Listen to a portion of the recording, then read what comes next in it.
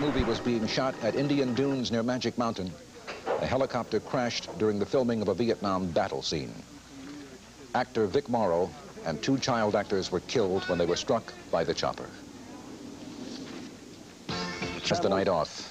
A helicopter crash near Magic Mountain today brought tragedy to the set of the Steven Spielberg movie, The Twilight Zone. Actor Vic Morrow and two small children were killed when the chopper came down as they were shooting a war scene. Rick DeReyes reports it happened early this morning. The helicopter crashed just before 2.30 in the Indian Dunes Park as a Warner Brothers crew was about to wrap up filming for a story in the new Twilight Zone movie. The scene called for a nighttime bombing of a Vietnamese village in which actor Vic Morrow was supposed to pick up two Vietnamese children and run across the Santa Clara riverbed. Robert Gaynor was operating the camera crane at the time. He saw the chopper come into view. The cameras rolled and the helicopter was hovering uh, and was supposed to uh, destroy the village. And Vic Morrow was supposed to run across the river with the two children to save them. And as the helicopter went out of control, he was running across the river, and the helicopter spun down into the river and met Vic Morrow, apparently, and the two children at the, at the, uh, at the water level. The crash tore the rotor blade from the chopper, killing Morrow, six-year-old Renee Shin Chen of Pasadena, and seven-year-old Ka Dinh Le of Cerritos. There were six persons in the helicopter when it crashed, including director John Landis of Animal House fame. They were all taken to nearby Henry Mayo Newhall Memorial Hospital. Only four persons needed treatment. All were later released. Federal investigators were told that the helicopter, a Bell 205 military model, had begun its mock bombing run about 35 feet above the water. Director Landis had asked the pilot to turn left, but as he turned, he lost control of the helicopter. At the same time, gasoline charges were being set off by the special effects men to simulate bombs being dropped. Investigators are guessing that one of these charges could have sheared off the chopper's tail rotor, the mechanism that does the steering. There's the uh, signs of heat on the whole tail assembly. And there was damage. Uh, there was heat transference and significant amount of heat. The damage was uh, confined to the tail rotor assembly and to the tail rotor blade. Rotor? Investigators hope to have some answers on the crash by this week. This weekend, they will be conducting tests on pieces of metal from the rotors to find out what part stress and heat from the explosion played in the crash. But all the answers in this accident probably won't be known for another two or three months. From the Indian Dunes, I'm Rick DeReyes, Channel 5, News at 10. While It investigators... spanned 27 years. He worked in the theater, in movies, and on television. Perhaps his most famous role was on the TV series Combat. One of his close friends from that show, actor Rick Jason, remembers him. I remember him probably as one of the one of the finest professionals with whom I've ever worked, and as a very nice and gentle man. Gentle and nice. But Morrow often played the tough guy. His first film was The Blackboard Jungle in 1955. He played a teenager, taunting teacher Glenn Ford. You ever try to fight 35 guys at one time, Teach?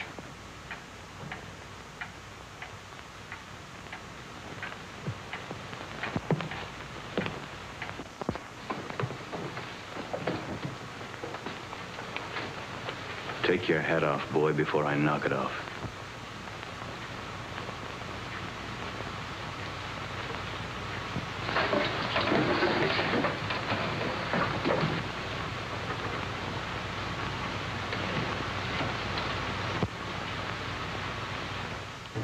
Morrow began his career acting and directing in off-Broadway theater. Although he appeared in many movies, Morrow remained basically a featured player.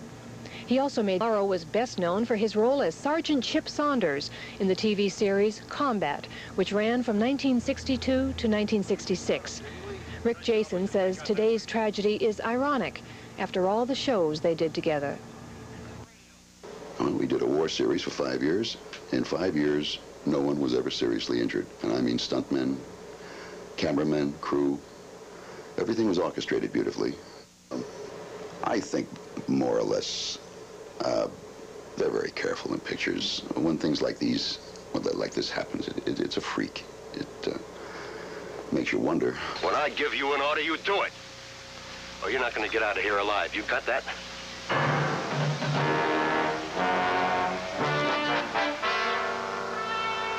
Little John, take the point. All right, move out. He was a consummate actor. He was so superb. It was he was professional. It was, it was a joy to work with him and to be directed by him. He directed eight of our shows. Asked me if I wanted to direct. I said no. I was still learning how to act. And uh, he was a fine director too. One of the best I've ever worked with. He was an actor's director. He was completely professional in everything he did.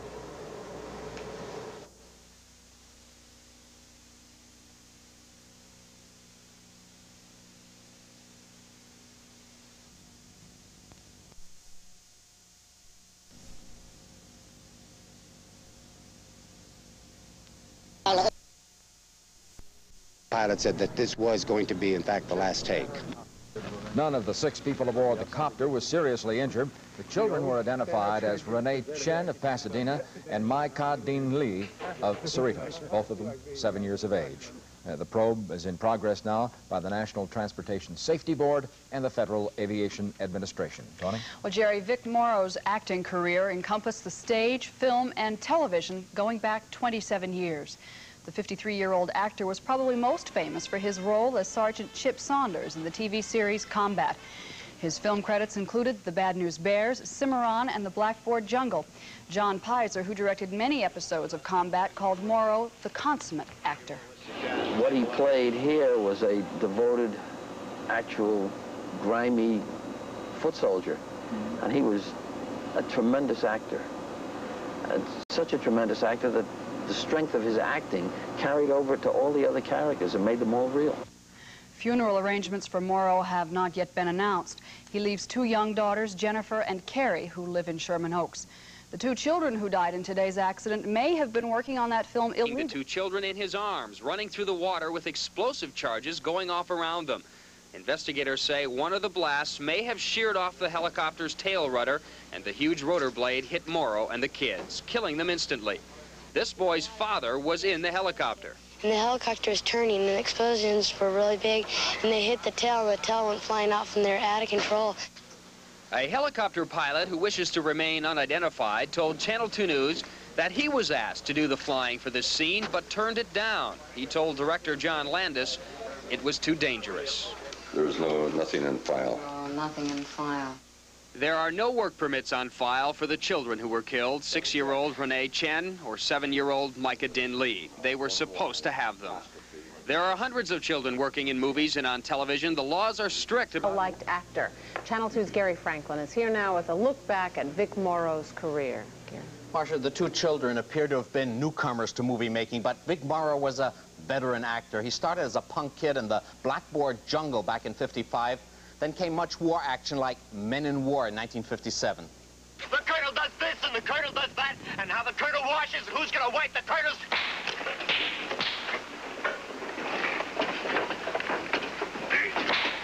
That was Vic Morrow in Men in War. Here he was in the TV series Combat. They won't spot us as good cover. Why not take them? We start a fight with them, they'll get on the radio alert every crowd in the area. And comedy, too, the Bad News Bears. You better start worrying about your team finishing this season in one piece instead of trying to get in the playoffs. Today, fellow actor and neighbor Robert Culp, working in the TV series The Greatest American Hero, talked to me about his friend. Uh, you could say, if you wanted to, that uh, if, if somebody is an actor, uh, what better way to go than on the set? But on the other hand, anybody in their right mind would say, but to get snuffed on account of a movie because somebody made a mistake? Uh, Vic, like myself, and most of the guys I know, I guess, as Shakespeare put it, are but warriors for the working day in our profession. We're held today for actor Vic Morrow. Vic was killed on Friday when a helicopter crashed during the filming of the movie The Twilight Zone. Chris Harris attended the funeral. About 200 of Vic Morrow's relatives and friends gathered at Hillside Memorial Park in Culver City today, not only to mourn his death, but to celebrate his life as well. Ironically, the wrap-up party for Morrow's last film was to have been today. Morrow and the two children were killed during filming of the last scene to be shot, and producers say the film is complete. On hand for the services were Morrow's two daughters, Carrie and Jennifer. His co-stars in the old combat TV series, Rick Jason and Pierre Jalbert, and fellow actors Peter Lupus, Chris Connelly, and Ray Walston. John Landis, who directed Vic Morrow in this last film, gave a brief, emotional eulogy. Tragedy strikes in an instant, but film is immortal. Perhaps we can take some solace in the knowledge that through his work in stage, television, and film, Vic lives forever. Rabbi Morton Wallach's theme centered on why bad things happen to good people. Is there an explanation which will make sense of it all? Why is there cancer in the world? Why did my father die? Why did the plane crash? Why did my child perish? Then there is probably no satisfying answer. Rabbi Wallach then led the mourners in the 23rd Psalm, and he said, Vic Morrow was a man who cared, a man who loved, a man who entered all your hearts.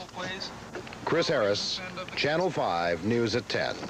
Tomorrow, the pilot of the helicopter that killed Morrow is going to watch films of the tragedy. Dorsey Wingo, who was the pilot, at first said that he didn't think he wanted to view them, but then decided that only by watching the films could he learn exactly what caused the helicopter to crash.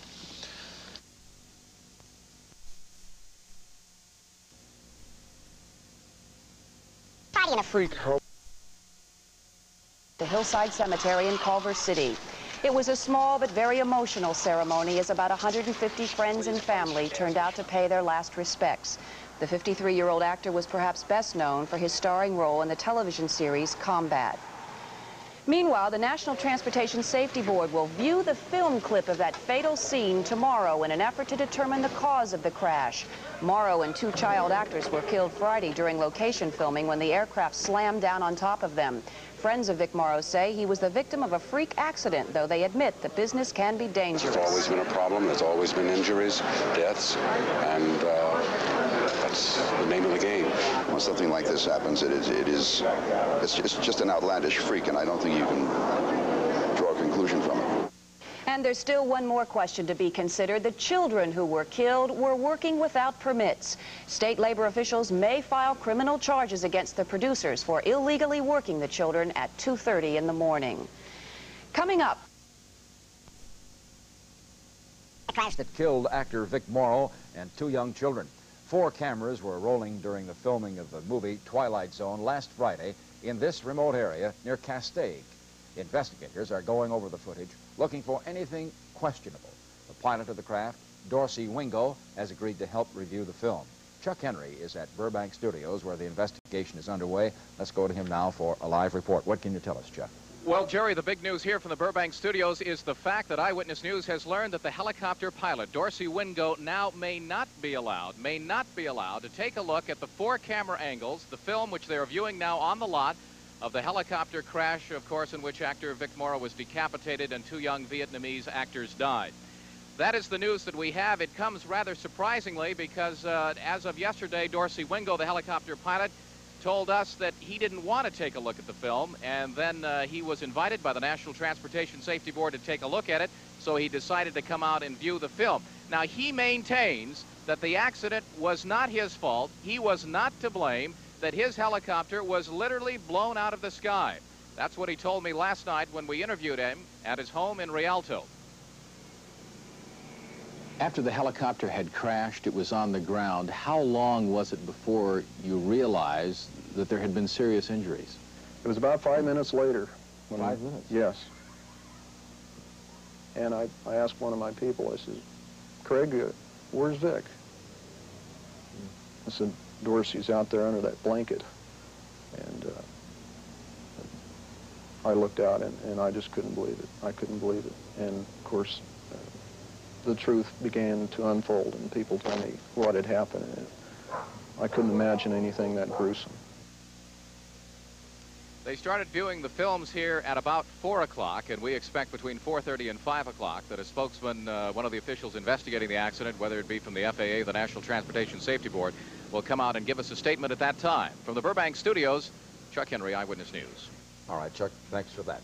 The Diablo Canyon was in a movie last Friday, and then it all turned into a real-life horror as that craft went out of control, killing actor Vic Morrow and the two children who were working with him. Now, that film was to be rerun for the official investigation of that accident today, And Kim Mariner is reporting live now from the Burbank studios. Kim? Well, Ralph, that screening has uh, just been completed here at the Burbank studios, although no representatives from the National Transportation Safety Board have come forward at this point to make an official statement. Representatives from the NTSB, the Federal Aviation Administration, the Screen Actors Guild, Cal OSHA, uh, along with the State Labor Relations Department and Warner Brothers representatives, 20 in all, viewed the work print of the film shot Friday at Indian Dunes. That tragic accident that claimed the lives of actor Vic Morrow and the two children was, in fact, captured on film by four cameras. This is what we saw from Chopper 2 on Friday as we flew over the scene. The helicopter that, uh, that crashed during the filming of a scene from the movie Twilight Zone, a Steven Spielberg production. Many questions still to be answered. One of them, of course, why and how the helicopter crashed, and also why two children were working at 2 o'clock in the morning. The State uh, Department of Labor Standards wants to know about that. The investigation is underway. Uh, uh, that would result in their death uh, could very well be a felony. Should be a felony if it isn't. Under the labor code, working them without the teacher is a misdemeanor.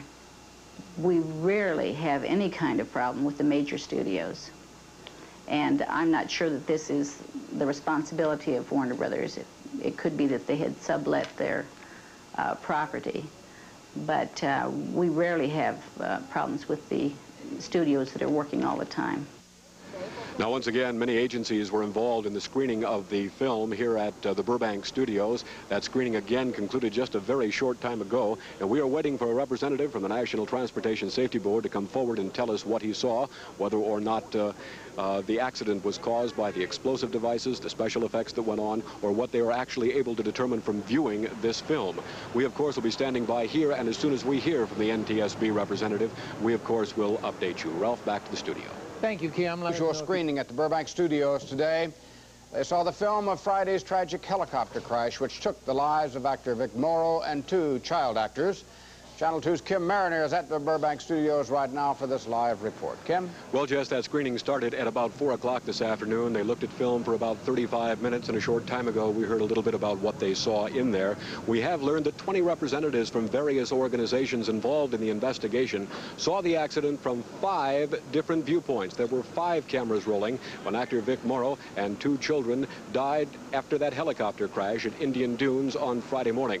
A.D. Llorente is in charge of the investigation for the National Transportation Safety Board. They talked to me about what he saw just a few minutes ago. As it entered the area, shortly thereafter, the uh, first explosion started. The aircraft uh, then executed a turn to the left, and as it got about 30 degrees of turn, a second explosion uh, was detonated, and then the aircraft all of a sudden uh, went uncontrollable to the right and crashed. They saw that from five different angles. Now the question is, did they come up with an answer today? And the answer to that is no, they did not. They're going to have to go by frame by frame through that film. They're going to blow up those uh, individual frames to find out exactly what caused the crash. Much of the tail rotor section and the flange that connects the tail rotor to the helicopter have been sent back to Washington for a complete examination. Again, they don't know exactly what caused the crash. They're going to have to study that film very carefully before they know for sure. And according to Mr. Llorente, it could take as long as a month to a year before before they know for sure exactly what caused the crash. But due to the high uh, public interest in this case, they hope to have an answer uh, within a month or two months exactly why that crash was called. Of course, there are many questions that are still unanswered, questions that are being investigated at this point. Why? Why were two children on the He has taken possession of both the aircraft and the film of the accident. Stan Chambers has an update on their investigation. Some of the survivors and witnesses to the tragic copter crash are questioning some of the safety procedures followed during the making of the film early Friday morning. The battle scene called for the helicopter to be only 30 feet above the ground. Some say the explosives were too close to the copter. The pilot said if he knew the explosion in fireball was to go off so close, he would not have agreed to take the assignment. Others aboard the helicopter at the time of the crash felt the scene was just too dangerous. We come out on the set not ever knowing what shot we're going to be asked to do. And 90% uh, of the time, we have no safeties. Nothing is provided. If you don't have it with you, or if you can't round it up from a stunt man or a prop man, you just have to figure it out for yourself. And that's exactly what happened here. At the Burbank studios this afternoon, officials investigating the tragedy viewed the films of the accident. There were five cameras rolling at the time the copter crashed. Following the screening, a National Transportation Safety Board official met with newsmen and talked about the films. The film showed that uh, during the second explosion, the aircraft rotated to the right and descended. And during this descent time, the uh, main rotor blades did strike the three persons on the ground. We haven't determined the cause. Uh, the fact is, is that everything happened so fast until we take stills and view it frame by frame, we can't really be certain. Uh, we have sent certain material to the uh, National Transportation Safety Board lab in Washington for uh, metallurgical examination, and that examination should entail uh, hardness of the material, see whether or not it suffered any pre-existing uh, problem. Over the weekend, Bell helicopter engineers and air safety officials went over that down copter from stem to stern looking for answers for their investigation. The investigation continues. As of now, there are many unanswered questions. From the Burbank studio, Stan Chambers, Channel 5, News at 10. The tragic crash of that helicopter has raised some questions concerning the safety of what some people call stunt flying. Channel 5 News spoke with pilot Jim Deeth, who has flown in such television shows as Magnum P.I. and 240 Robert. Deeth says that stunt flying is a misnomer because there are really no stunts performed, only precision maneuvers. During the making of a movie, the director and production crews begin by mapping out on paper what they would like to see ultimately on film. This is the first step they might come up with some real wild things. And then the stunt coordinator, and which is what they call it, will sit down with the pilots. You'll discuss it. You'll say, yes, that's possible and sa to safely be, be done and then you will go out uh, on that day and you will go through the precision. You will go through the maneuvers uh, several times to say, no, that's not the way we want to see it. We want to see it some other way. So you might run through three or four times to get something down the way it looks good on the screen and it's practical to do. Deeth says it is up to the pilot to refuse to perform a specific maneuver if he does not feel the maneuver can be executed safely. Debbie? Orange County authorities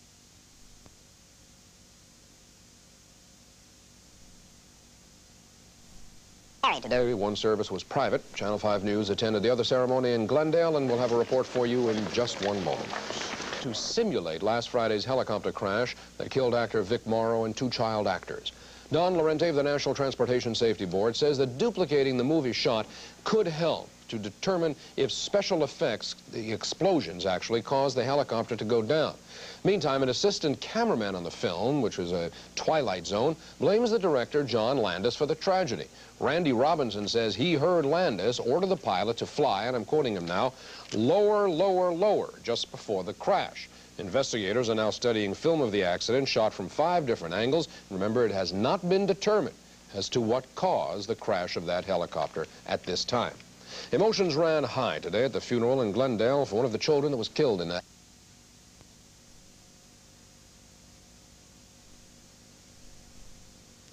At least one entertainment company will face charges tomorrow in the movie location deaths of actor Vic Morrow and two child actors. It was about 2.30 in the morning last Friday when the helicopter went down while shooting a mock battle scene for a movie version of the old television series Twilight Zone. The Associated Press says that a source close to the investigation claims the charges will be filed tomorrow. However, the source will not say who will be named or whether the charges will be criminal or civil. Morrow and the two children were killed when the helicopter spun out of control and crashed amid gasoline charges designed to simulate a bombing attack. State officials have said the children should not have been working at that hour, 2.30 in the morning. The uh, studio, Warner Brothers, denies knowing who hired the youngsters. Meantime, an assistant cameraman uh, blames the director for ordering the helicopter to fly too low, but we must stress no cause has been determined thus far as to what absolutely made that helicopter go down.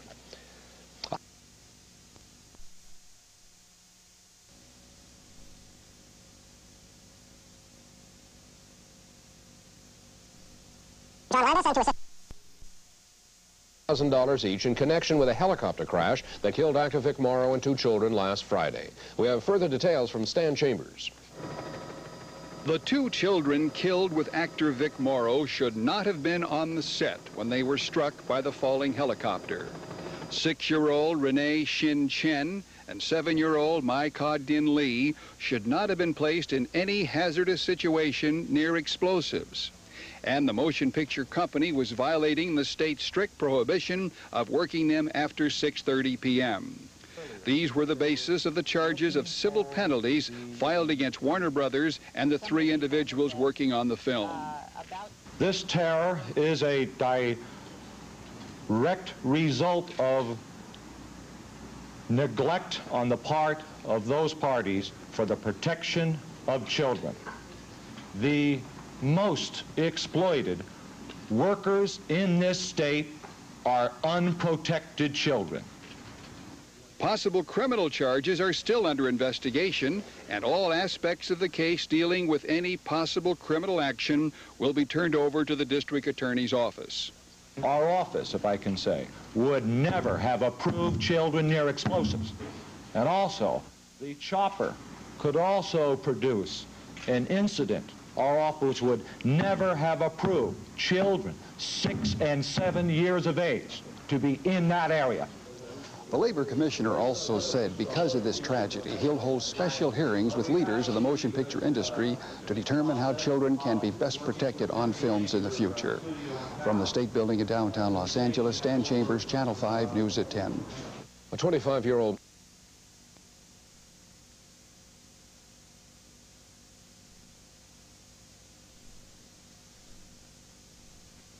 complicated laboratory testing. Final samples from the helicopter crash site were put under the electron microscope today to determine if any of them might have hit the tail rotor causing the copter to crash. Dr. Arun Kumar of the Scanning Electron Analysis Laboratories has been conducting this series of tests for the National Transportation Safety Board. Samples of each are put under a microprobe analysis to determine if particles of the samples could be found in the damaged tail rotor section. Right now he's looking at uh, some particles from the bomb powder, which was in the new bomb. And those are the three particles you see on the screen. He's zooming up on one of those. Now he's going to turn the electron microprobe analyzer and the area you see on the screen is being rastered. That is the area being analyzed on the electron microprobe. The results of all of these tests have already been given to the National Transportation Safety Board. Their conclusions should be announced at the end of this week. Stan Chambers, Channel 5, News at 10. Debbie Davis.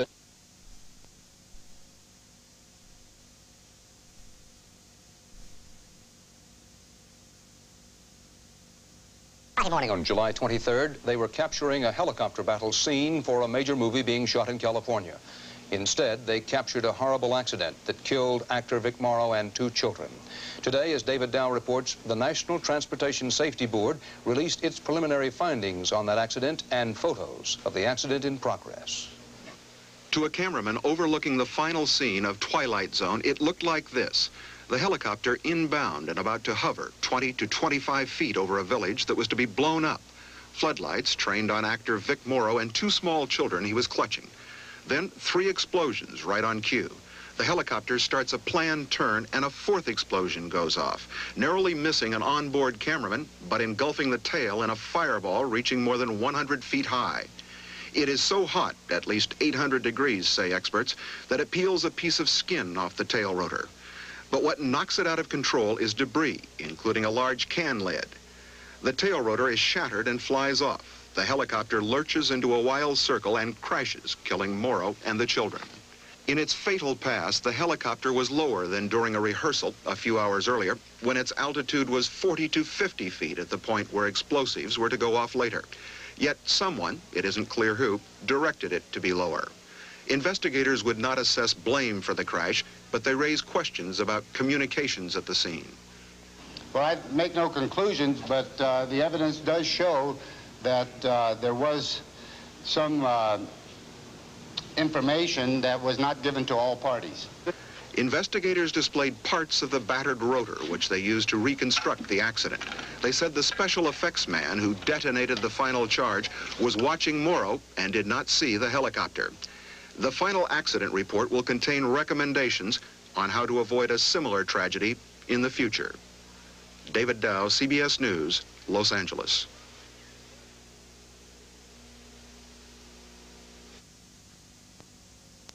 Exact cause of the crash that killed actor Vic Morrow and those two small children. But the focus of their investigation... Children were killed.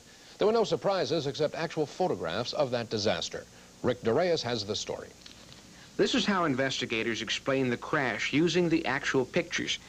As the helicopter began the scene, it hovered over the sampan. In the center, you can see Vic Morrow carrying the two children through the river.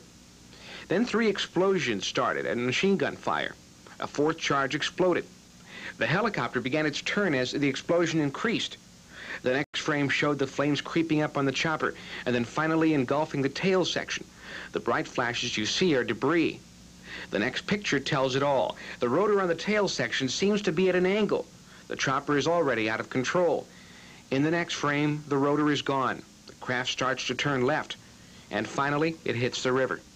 Investigators from the National Transportation Safety Board and other organizations refused to say what actually caused the crash, but they did mention several factors. They claim heat, 800 to 1,000 degrees from the fire, caused the shield on the tail rotor to fall off and weaken the metal, and that maybe bamboo or a piece of wood from the explosion fractured the rotor. The round shape of this area said that the uh, object itself had to be a round object that did not, in fact, leave any transference other than the fire fuel. The, the floor decking of which the uh, pyrotechnic was placed underneath was coated with fire fuel. This fracture here we could not positively identify. All we can do is show what the, uh, how the tab on this lid fits the mechanical fractured area. There are still conflicts that haven't been worked out. For instance, the chopper pilot claims he rehearsed the shot farther away from where the explosion had been planned. And no one seems to know where the order came from to lower the chopper to about 25 feet. Also, why were metal lids lying around where explosions were being set off? Officials say they have a lot more investigating to do. They'll be interviewing more witnesses and gathering more information within the next two months.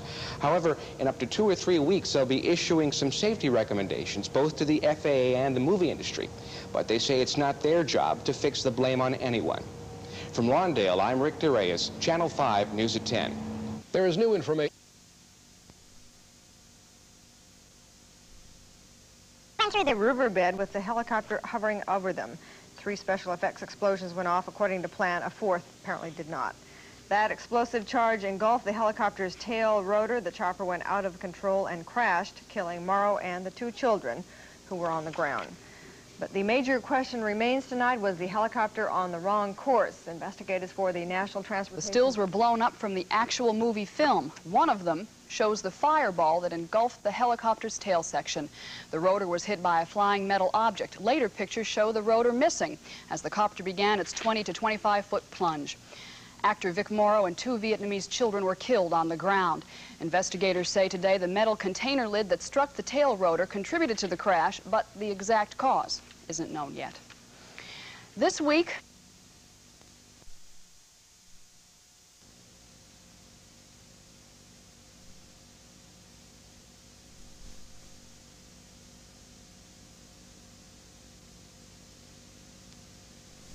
The special effects explosion that led to the fatal crash during the filming of a movie episode of The Twilight Zone was apparently caused by a more powerful device than the special effects expert claims he used. Investigators say they don't believe the special effects technician is lying, but they are trying to determine if the larger bomb was placed by design or accident. They're also investigating who might have set the larger device. That device was a 24-inch rather than a 12-inch mortar with the capacity to give off a larger fireball and propel debris across a wider field. And it was debris which hit the tail rotor of the chopper that led to the accident at Indian Dunes Park. The investigation is expected to be completed by August 27th. And Jerry Warner Brothers, the producers of that fatal Twilight Zone episode, were also named in a complaint filed with the Screen Actors Guild regarding an allegedly unsafe stunt in The Thorn Birds. That's a movie for television. The scene in question was shot in the Simi Valley August 5th and 6th, and it involved a burning colonial-style house. The complaint said that actors were within six feet of the flames, and really they shouldn't have been closer than 15 feet. Nobody was injured, but an investigation is going to be made. The no. They have complained that they were put in danger on the set. Angela Black has details. This is what remains of one set for the new TV movie, The Thorn Birds. An old colonial-style mansion similar to this one was set on fire the evening of August 5th. It was burned into this heap of rubble for a sequence in the film. About 12 stunt persons and four actors were involved in the fire scenes. No one was injured, but they have filed a grievance with the Screen Actors Guild against Warner Brothers and David Wolper, co-producers of the film. The actors were talked to by the director and told that it was safe and that uh, have no fears. And uh, they were told to go closer and closer, and it uh, luckily it was uh, no one was injured. It was a lucky day for the company. Would we be paying as much attention to this if the Twilight Zone helicopter crash had not happened July 23rd? Uh, hopefully that the reason that the people said no was that they had learned something in the prior week from the uh, Morrow tragedy. And we want more people, and we have had a lot of calls starting this week from sets where we are sending people out to double check things before they're filmed. Other persons at the scene who preferred not to be on camera said the fires that were set August 5th and 6th were very controlled. They were set one at a time and extinguished. Also, safety personnel at Warner Brothers Studios say everything was checked out prior to filming and at no time were the actors in any foreseeable danger. Angela Black, Channel 7, Eyewitness News. Nissen says there are ways to capture action on the screen without actors having to get hurt doing it. And...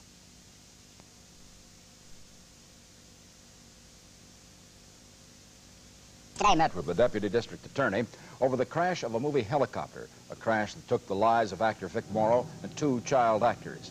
The district attorney's office is seeking information which could possibly lead to criminal prosecution in connection with the crash. The hearing was held at the DA's Newhall office. Uh, I will be anticipating receiving reports uh, about mid-month from Sheriff's Homicide, Los Angeles Sheriff's Department Homicide Division, who is also investigating the matter. And I'm also anticipating uh, within uh, this month receiving reports from California OSHA, um, who is also investigating other aspects. The Labor Commission primarily is focusing on the uh, uh, matter of the child labor laws uh, violations. Uh, OSHA is covering the broad base uh, occupational safety uh, aspect. No decision will be made on filing criminal charges until all of the investigation is complete. That won't be for about two weeks. Jerry, has taken aim at safety on film sets. The Guild's Stunt and Safety Committee watched as stuntman Monty Laird demonstrated blank ammunition that he said was safer than blanks now in use. It is very effective. You get the flash out of it, you get all the smoke you want, you can be a hero. The committee also saw a powerful device called Jaws of Life, which can be used to free stunt drivers trapped in wrecked automobiles. And a special team of paramedics showed the way performers injured in film work should be treated on location. The demonstration is evidence of a new awareness of the need for greater safety measures in film production. It's an awareness that has grown out of three deaths on the set of Twilight Zone. I guess, unfortunately, uh, every uh, advance of this nature is made with, um, with martyrs. Uh, it is up to us, the living, not to dishonor their deaths. And I would hope that uh, we use those deaths for uh, for something more worthwhile than previous deaths in the past have accounted for. The Screen Actors Guild is urging members to refuse to perform when they sense danger. Remember that as stunt people or actors, you always have the right to say no, and don't be afraid to say no. And Hollywood's new safety consciousness may bring about other changes in the way movies are made. Major studios reportedly are moving toward taking greater control of productions in which they work with independent producers. In the Twilight Zone tragedy, a major studio, Warner Brothers, was fined and now faces possible criminal charges in the death of two children. Warner Brothers was cited even though an independent producer, Steven Spielberg, was in charge of the production in which the children died. Scott Osborne reporting for... When you purchase a ticket to see a motion picture, you expect to take a rain check on reality. In the futuristic world of Road Warrior, for instance, you're witness to all sorts of highway violence, but you know it's only fantasy. In The World According to Garp, you view an airplane plunge into a house. But Garp's world is fiction, of course. The Sword and the Sorcerer, you accept the deception too. Except, in this film, a man died creating the illusion of death. Stuntman Jack Tyree missed the airbag that was to cushion his leap from a cliff. Eleven actors, stuntmen, and camera operators have died while making movies within the past three years. People who work in the film industry are worried. In recent weeks, stuntmen have demonstrated what they say is safer blank ammunition. Devices for extracting stunt people from crashed cars. Emergency medical techniques. And a leading stunt coordinator, Kim Kahana, calls for a rating system to grade stuntmen's abilities. You could pick out any kid in the street, put an ad in the paper and say, I want you to jump off this building and I'll give you $100 for it. You'd have 100 kids do it for free just to get that exposure. The reason that we have a lot of accidents now is because we have inexperienced people. This is our problem. Uh, we should have a rating system. One of the most obvious potential sources of injury on film location is the insert car, the vehicle that carries cameras which film occupants of moving cars. Insert cars also carry lights and many production personnel besides camera operators. Rodney Mitchell was killed when an insert car rolled over. One of Hollywood's leading directors of photography, Brianne Murphy, has invested $100,000 of her own money to build a new, safer insert car. We should have a safe working environment. We are afraid to speak. We're afraid to come out and say that there are unsafe conditions and the industry's safety has just gotten away from us completely. That's one. Two is that uh, when there is an accident, it's hushed up too quickly. Too many accidents you've never heard of. They happen, they get covered up so completely that uh, the people that they're made for, which is our audience, they never know about them. If greater safety is an urgent concern on the set, it does not appear to be so in the studio boardroom, where the real decisions are made. Warner Brothers refuses to discuss safety because of three deaths on the set of the film Twilight Zone. Columbia Pictures had no comment. Paramount Pictures, no comment. 20th Century Fox, no comment. MGM United Artists could not locate a spokesman. Universal Pictures did not return phone calls. But Hollywood may not be able to avoid questions of film set safety much longer. Union negotiators are sure to raise those questions during contract talks.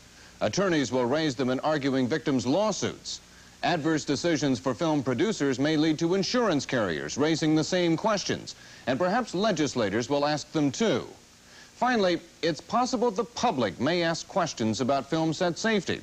And for Hollywood, those would be the most serious questions of all. The issue of film set safety is out in the open. No amount of celluloid fantasy can cover up the ugly reality of injury and death. Scott Osborne reporting for Entertainment Tonight. We'll keep you up to date on this ongoing against Twilight Zone Productions and director John Landis for failure to answer subpoenas in the investigation of the movie location helicopter crash that killed actor Vic Morrow and two children. Beverly Hills police The Entertainment Wire.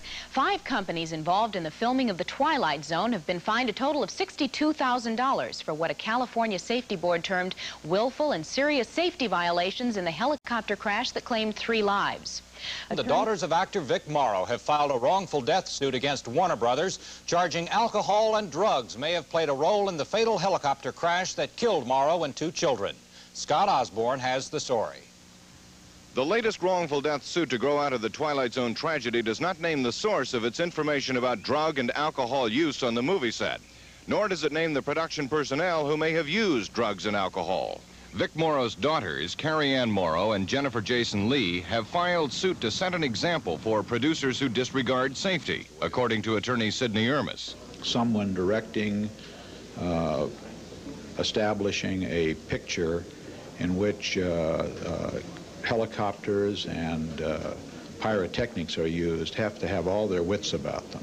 But you cited no names. Who are you talking about here? We have been informed uh, by uh, people that this did take place, and the names of those people are being withheld at this particular time because, just like the newsman has a shield law, attorneys have the same privileges uh, not to disclose that. In fact, they will come out in the depositions. Wouldn't this amount to hearsay? Yes, but in a pleading uh, where you have to cover all bases before you go to court, uh, this is very common. Uh, obviously, it can't be proved by hearsay but uh, the allegation of information and belief by its very definition is hearsay because my clients were not present at the time of the incident. Earlier, the parents of one of the children killed on the Twilight Zone set filed a $200 million suit against Warner Brothers Studio, director John Landis, and others. Two California agencies have also levied more than $82,000 in fines for child labor law violations and unsafe working conditions. Scott Osborne reporting for Entertainment Tonight.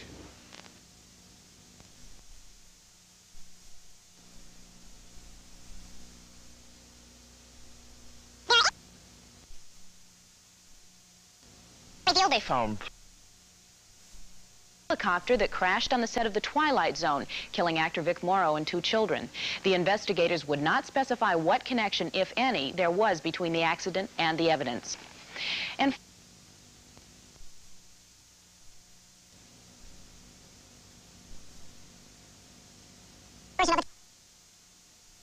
drugs may have played a role in the fatal helicopter crash that killed Morrow and two children. Scott Osborne has the story. The latest wrongful death suit to grow out of the Twilight Zone tragedy does not name the source of its information about drug and alcohol use on the movie set, nor does it name the production personnel who may have used drugs and alcohol. Vic Morrow's daughters, Carrie Ann Morrow and Jennifer Jason Leigh, have filed suit to set an example for producers who disregard safety, according to attorney Sidney Ermis. Someone directing, uh, establishing a picture in which uh, uh, helicopters and uh, pyrotechnics are used have to have all their wits about them. But you cited no names. Who are you talking about here? We have been informed uh, by uh, people that this did take place, and the names of those people are being withheld at this particular time because, just like the newsman has a shield law, attorneys have the same privileges uh, not to disclose that. In fact, they will come out in the depositions. Wouldn't this amount to hearsay? Yes, but in a pleading uh, where you have to cover all bases before you go to court, uh, this is very common. Uh, obviously, it can't be proved by hearsay, but uh, the allegation of information and belief by its very definition is hearsay because my clients were not present at the time of the incident. Earlier, the parents of one of the children killed on the Twilight Zone set filed a $200 million suit against Warner Brothers Studio, director John Landis, and others. Two California agencies have also levied more than $82,000 in fines for child labor law violations and unsafe working conditions. Scott Osborne reporting for Entertainment Tonight. Later in the week, federal investigators said they found three empty beer cans in the crashed helicopter after the accident, but added they had no idea what bearing, if any, this information had on the crash. Now some of the other and the good news is that the weatherman promises that none of the cartoons... It's been months since the helicopter accident that claimed the lives of actor Vic Morrow and two children. There are still unanswered questions. Scott Osborne has an update on the investigation.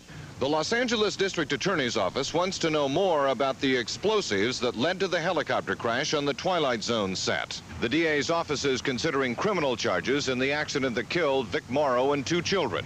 The National Transportation Safety Board ended its probe into the crash without recreating the explosions, even though Chief Investigator Don Llorente reportedly felt they were necessary.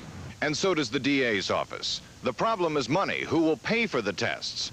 California State Labor Commissioner Patrick Henning says his office will gladly pay.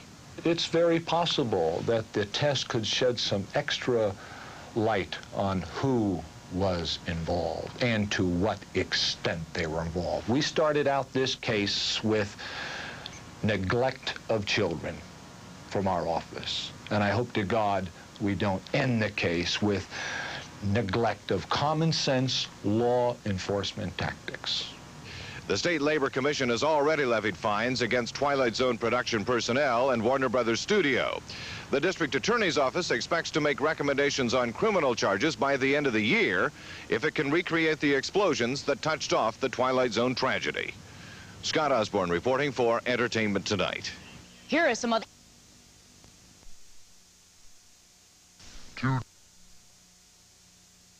Morrow had survived many battle scenes, including his long-running TV series Combat. So it's ironic that on the morning of July 23rd, Morrow and two Vietnamese children were killed by a helicopter blade during filming of a battle scene for the movie The Twilight Zone. The negligence of those deaths is still shocking Hollywood, as is the death of John Belushi.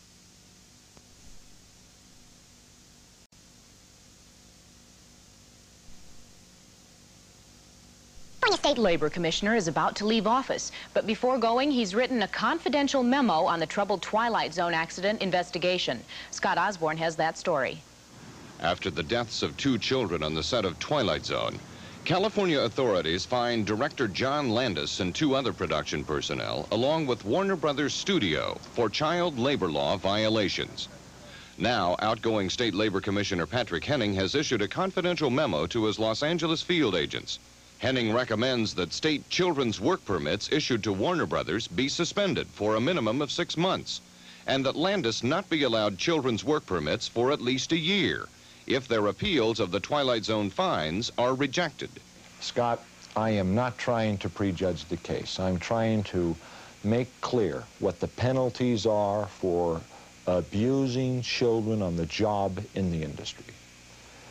Uh, different parties who are involved in the production of Twilight Zone have declared this was a pure and simple accident. That's all. Not true. Not true at all. That is part of the obscene uh, process of the whole case. There wasn't one aspect of protection for children out there that evening. Hearings on the civil charges in the Twilight Zone tragedy won't be held until the Los Angeles District Attorney's Office completes its probe into possible criminal charges. Scott Osborne reporting for Entertainment Tonight.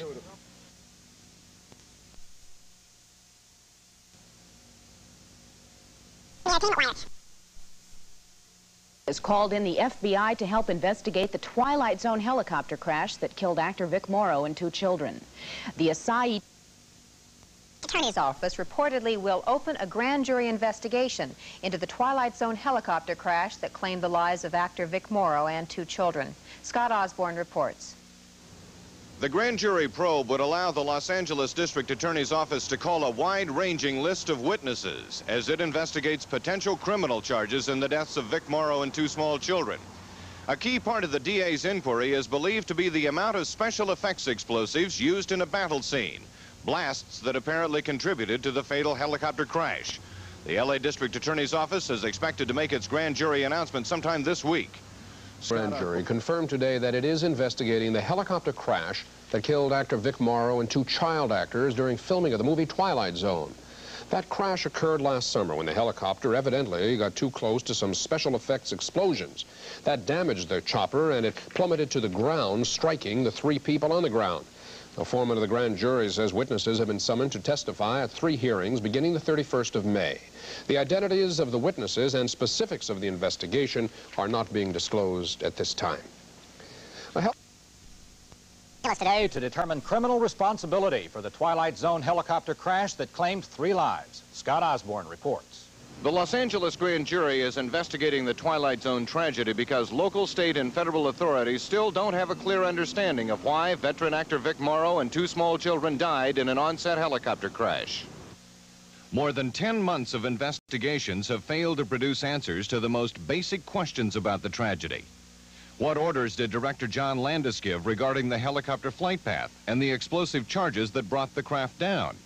How did Landis give those orders? To whom did he give them? What did they mean? And who carried them out? Were cast and crew using drugs and alcohol at the time of the crash? Despite those unanswered questions, federal investigators claim they have completed their probe, but no final report has ever been issued. State authorities levied fines for the illegal employment of the children, but those fines were appealed, and nobody has paid anything. Meantime, Vic Morrow's two daughters filed a wrongful death suit against Warner Brothers and individuals involved in the film. The parents of one of the slain children, Renee Chen, also filed suit for $200 million. In reply, Warner Brothers said the little girl knowingly assumed the risk. Renee Chen was six years old when she died. The attorney representing the other slain child, Myca Le, rejected the Warner Brothers defense. That means of necessity that Warner Brothers and all of the other bigwigs on top also knew that they were playing with dynamite, playing with lives, and at any moment, three or more people could be killed. If that's something that they knew, they're guilty of murder in the first degree. The grand jury hasn't been asked to indict anyone. All the panel will do is try to find out what happened. Scott Osborne, Entertainment Tonight. Here's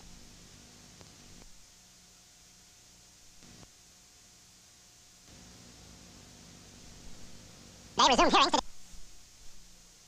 Twilight Zone helicopter crash that claimed the lives of actor Vic Morrow and two children. Scott Osborne has the story.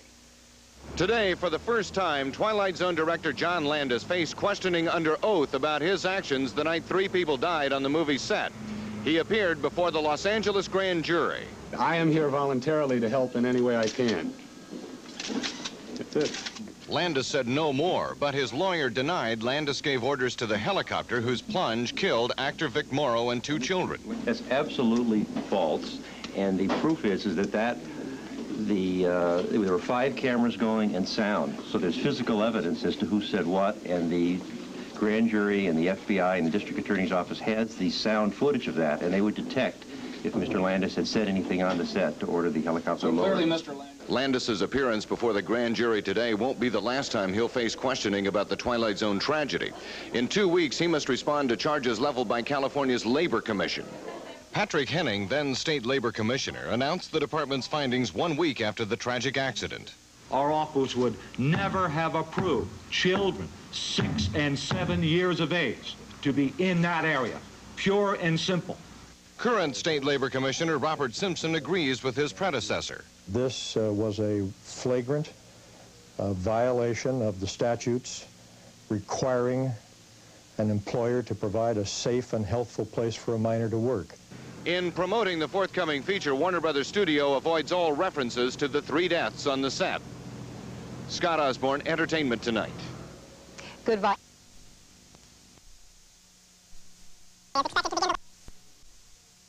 To determine criminal responsibility for the movie set helicopter crash that claimed the lives of actor Vic Morrow and two children. Scott Osborne has that story. The Los Angeles County Grand Jury held off questioning Twilight Zone director John Landis until the final day of its probe. Again today, the smiling Landis refused comment outside the confidential proceedings. He has been cited by California authorities and in three wrongful death suits in connection with the movie set accident. But Landis's lawyer, Harland Braun, indicated some probable points in his client's testimony. That director Landis had no part in positioning the helicopter which crashed and killed Vic Morrow and two children. This despite testimony from six film crew members to the contrary. Braun suggested the cause of the crash was improper special effects explosives. After hearing Landis's testimony, the grand jury will begin deciding whether or not to hand up criminal indictments. Scott Osborne, Entertainment Tonight.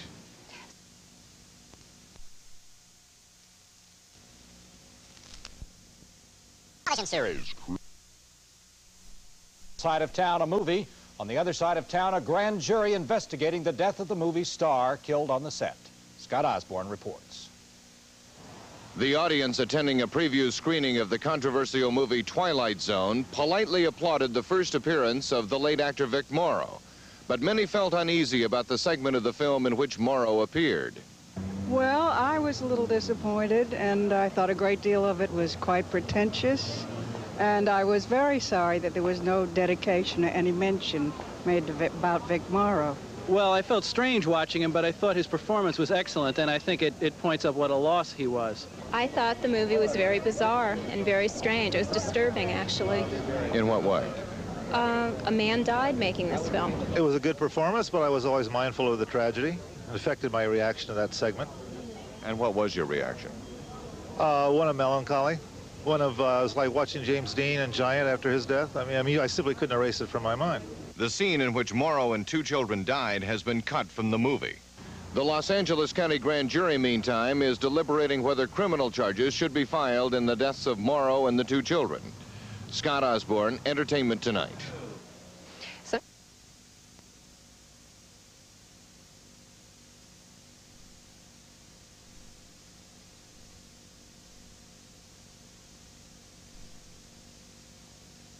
Grand jury will indict Twilight Zone director John Landis. Scott Osborne has that story. The Los Angeles County Grand Jury has reportedly handed up indictments against Twilight Zone director John Landis and two other production personnel in the movie set deaths of actor Vic Morrow and two children. Landis's attorney is quoted as saying he believes the director will be charged with involuntary manslaughter. Landis appeared before the grand jury on its fifth day of closed-door hearings. The district attorney's office had the option of seeking an involuntary manslaughter charge by presenting evidence showing the deaths resulted from gross negligence. The grand jury also reportedly returned an indictment against George Folsey Jr., the associate producer of Twilight Zone. Folsey also appeared before the grand jury earlier this week. The Los Angeles District Attorney's Office has reportedly ordered Landis, Folsey, and unit production manager Dan Allingham to report for their arraignments June 24th. Ironically, the movie Twilight Zone will premiere the same day.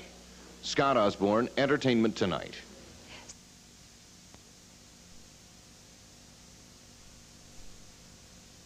The Twilight Zone case today. Scott Osborne has that story.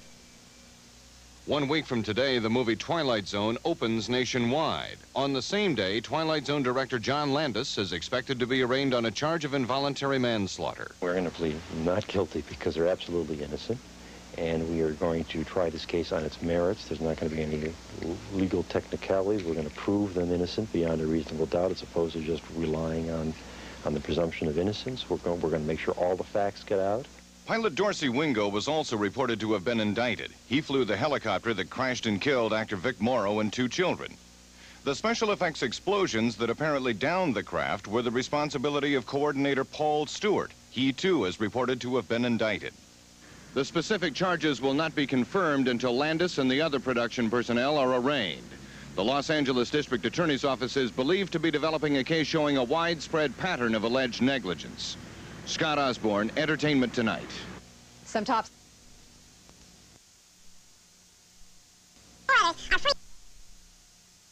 Pleaded not guilty. On assignment. The grand jury investigating the Twilight Zone movie set helicopter crash that killed actor Vic Morrow and two children handed up its indictments today. Scott Osborne reports. Twilight Zone director John Landis and four other production personnel were formally charged with involuntary manslaughter.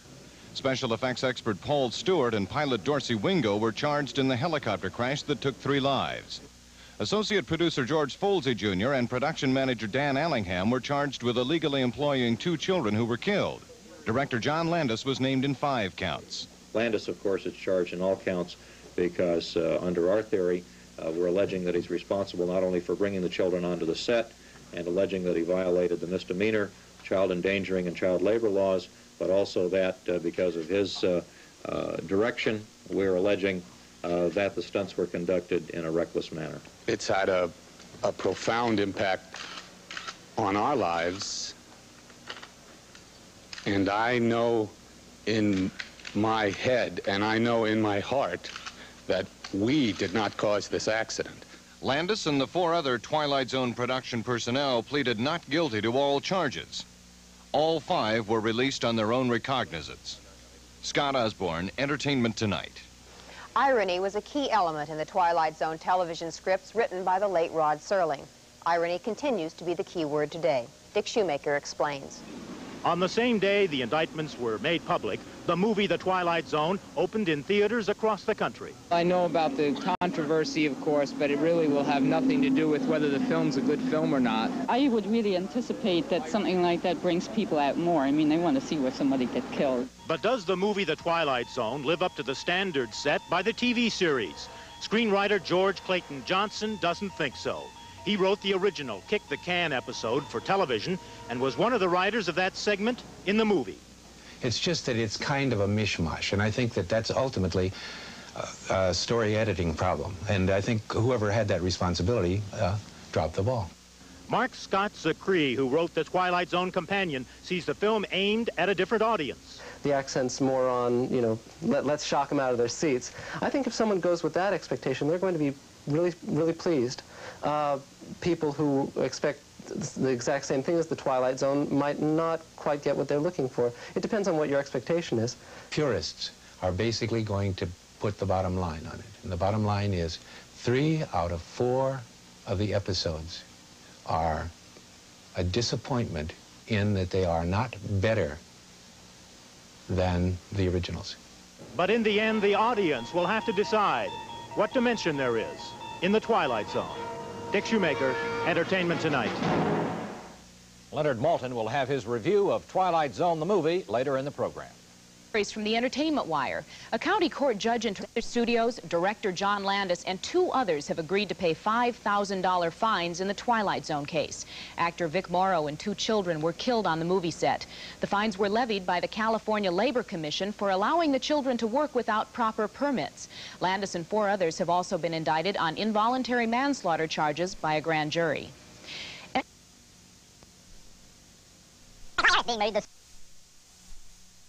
Scott Osborne has details.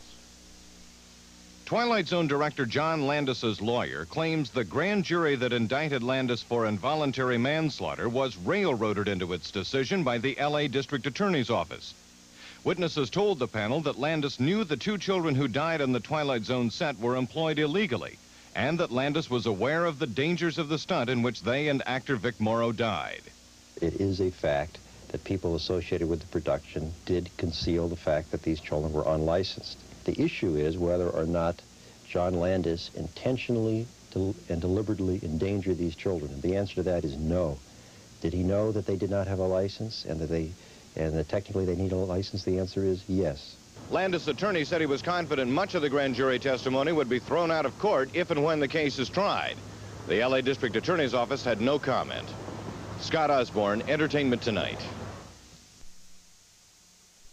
for January 9th of next year for director John Landis and four others connected with the Twilight Zone movie. They face involuntary manslaughter charges in the deaths of actor Vic Morrow and two children killed in a helicopter accident.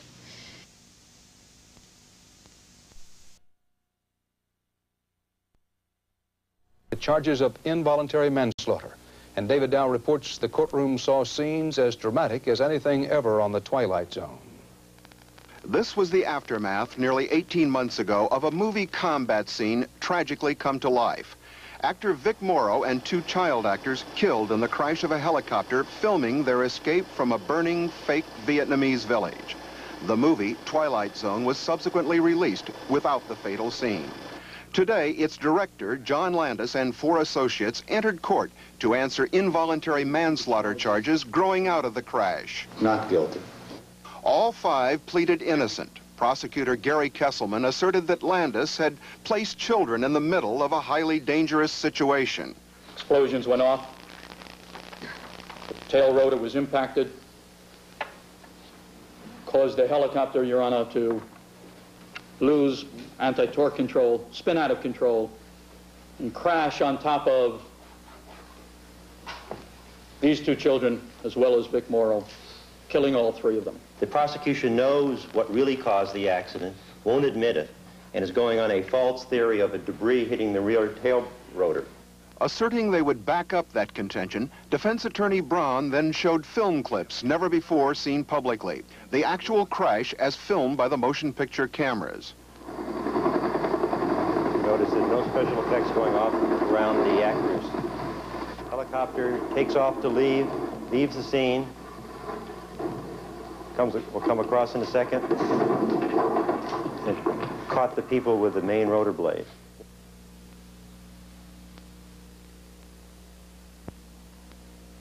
David Dow, CBS News, Los Angeles.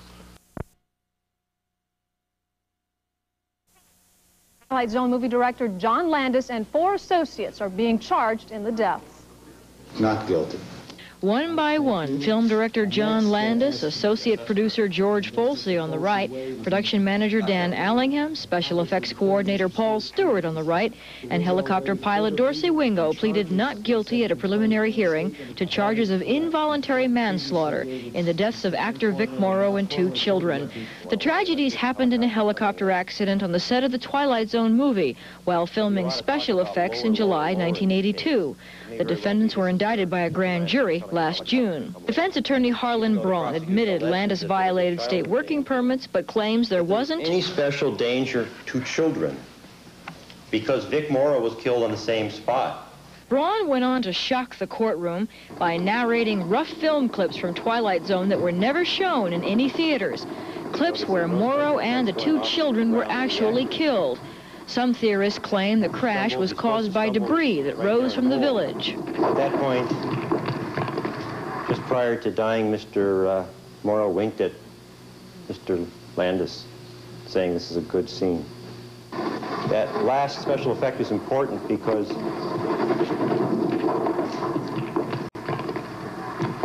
this scene was bigger than the previous scene because there were some special effects along. Landis, grieved by the film, silently held his head in his hands. If, in fact, Mr. Braun is taking a position that he does know the true cause of the helicopter crash and that it is not debris which rose from the village, then it would seem to me that Mr. Braun is taking an absolutely outrageous position and having not gone forward to the district attorney's office with this alleged information.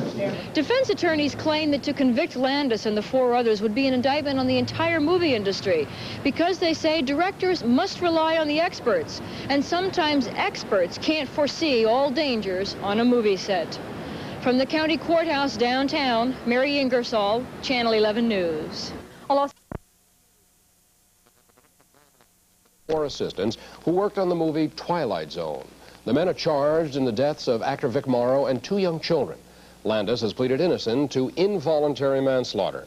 Today, defense attorney Harland Braun showed graphic videotapes of the helicopter accident that killed the three victims. Landis was unable to watch as Braun described the scene.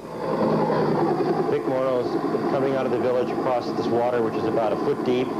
He's supposed to stumble and fall in the middle here. That's where he was ultimately killed with the children. Special effects go out behind him as he leaves the village in a few water mortar. As you can see, he's out away from the village before any special effects. Helicopter takes off to leave, leaves the scene,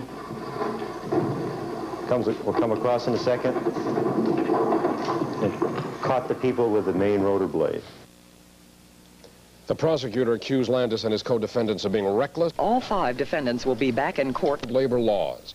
The defense attorney said evidence will show the incident was a tragic accident. And more than... As a matter of fact, was introduced today in the Twilight Zone case. For the first time, film was shown, film of that fatal crash that took the lives of actor Vic Morrow and two children.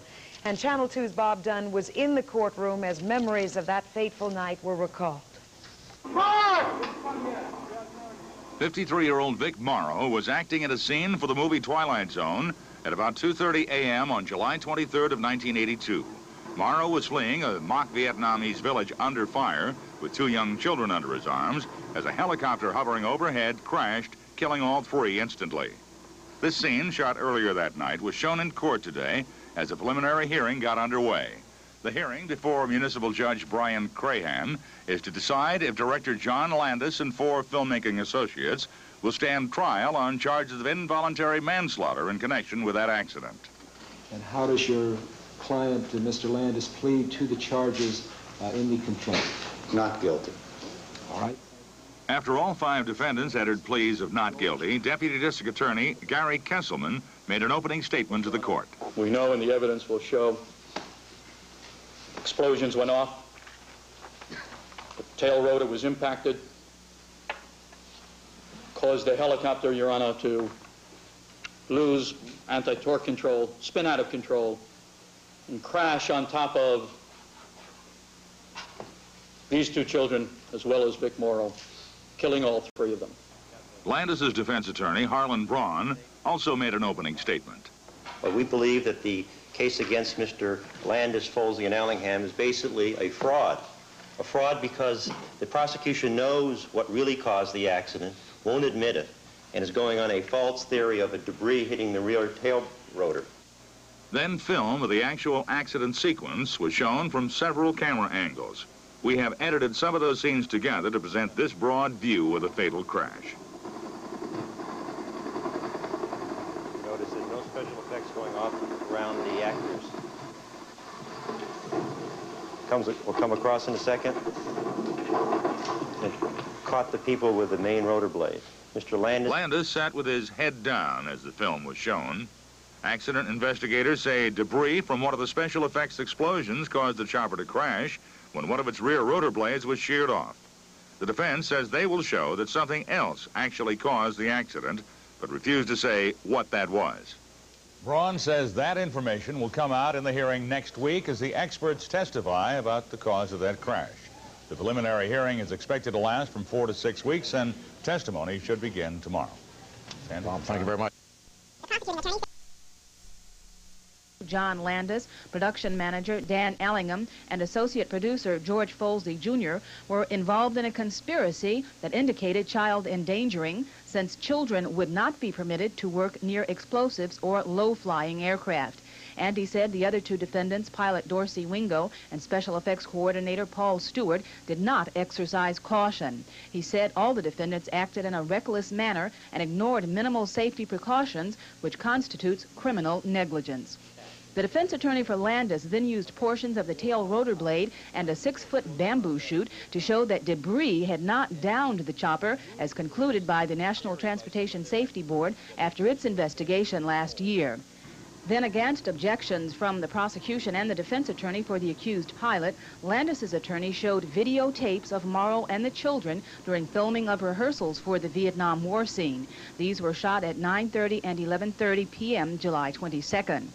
There are shots of Landis on location with Morrow. Then footage of the actual fatal crash was shown in court. KABC TV News Management, however, chose not to air that portion of the film. It had been shot from five camera locations at about 2.30 the morning of July 23, 1982. Landis did not watch the tapes. He kept his head down throughout the showing. Outside in the hallway, he had no comment for reporters. His attorney said Landis had seen the tape for the first time this past weekend and was visibly shaken. What you have to remember is what that film evokes in Mr. Landis is the scene as he saw it that night, which would have included finding Vic Morrow first and finding the children. So it's obviously has a an emotional impact a hundred times on Mr. Landis than it would on anyone else. Earlier in court, Braun, Landis's attorney, had said he knows why the chopper crashed in this unforeseeable tragedy, but he would not reveal that information this week. If, in fact, Mr. Braun has a theory, uh, which he says is the true cause of the crash of this helicopter, then it would seem to me he had a duty to come forward on behalf of his client, discuss that matter with the district attorney's office, give us an opportunity to evaluate it. The preliminary hearing is expected to take four to six weeks. Angela Black, Channel 7 Eyewitness News in Municipal Court. Will $3 billion... Filming of that movie, actor Vic Morrow and two children actors were killed when a helicopter crashed near them. The man who suggested the children for the movie said he warned that there would be risks. Uh, we talked about how much they would be paid, I told him they would not have permits, that they would be working at night, and that there would be explosives on the set, but not close to the children, and that I was told that there would be no danger. That version of the story was disputed during testimony by the father of the victims. Did he tell you anything about what was going to happen when the actor carried the children across the river? No. Did he tell you anything about explosives, if you remember? No. Was anything mentioned to you, if you remember, about a helicopter? No. Movie director John Landis and four others are charged in the case. Landis said he'll make a public statement in connection with the charges after the victims' parents have testified.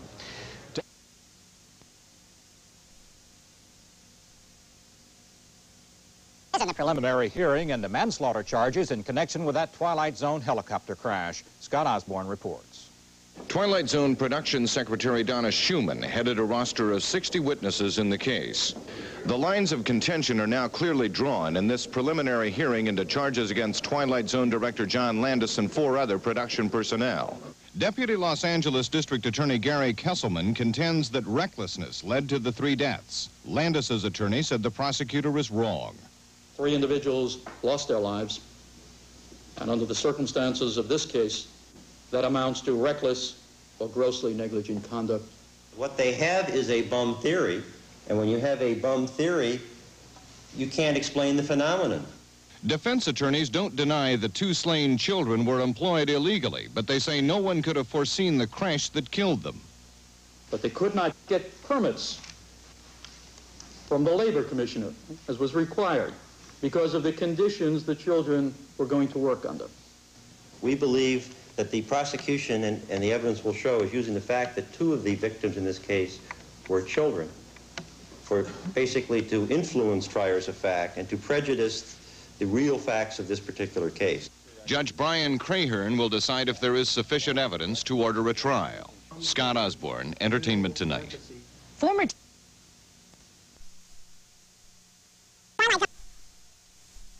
the preliminary hearing into the deaths. Scott Osborne reports. Nearly a year and a half ago, Mark and Cheyenne Chen were mourning the loss of their only child. Six-year-old Renee Chen died filming the movie Twilight Zone. She was the only child I had. Now she has gone. Now, testifying against director John Landis and other production personnel, the Chens maintain they were not aware of the dangers in filming, for which they and their daughter were paid $500. But I didn't know it happened, like things happened like that. Okay. Even pay me the whole money, I will never let my children be in that kind of filming. Renee Chen's mother, Cheyenne, spoke to the court in Chinese.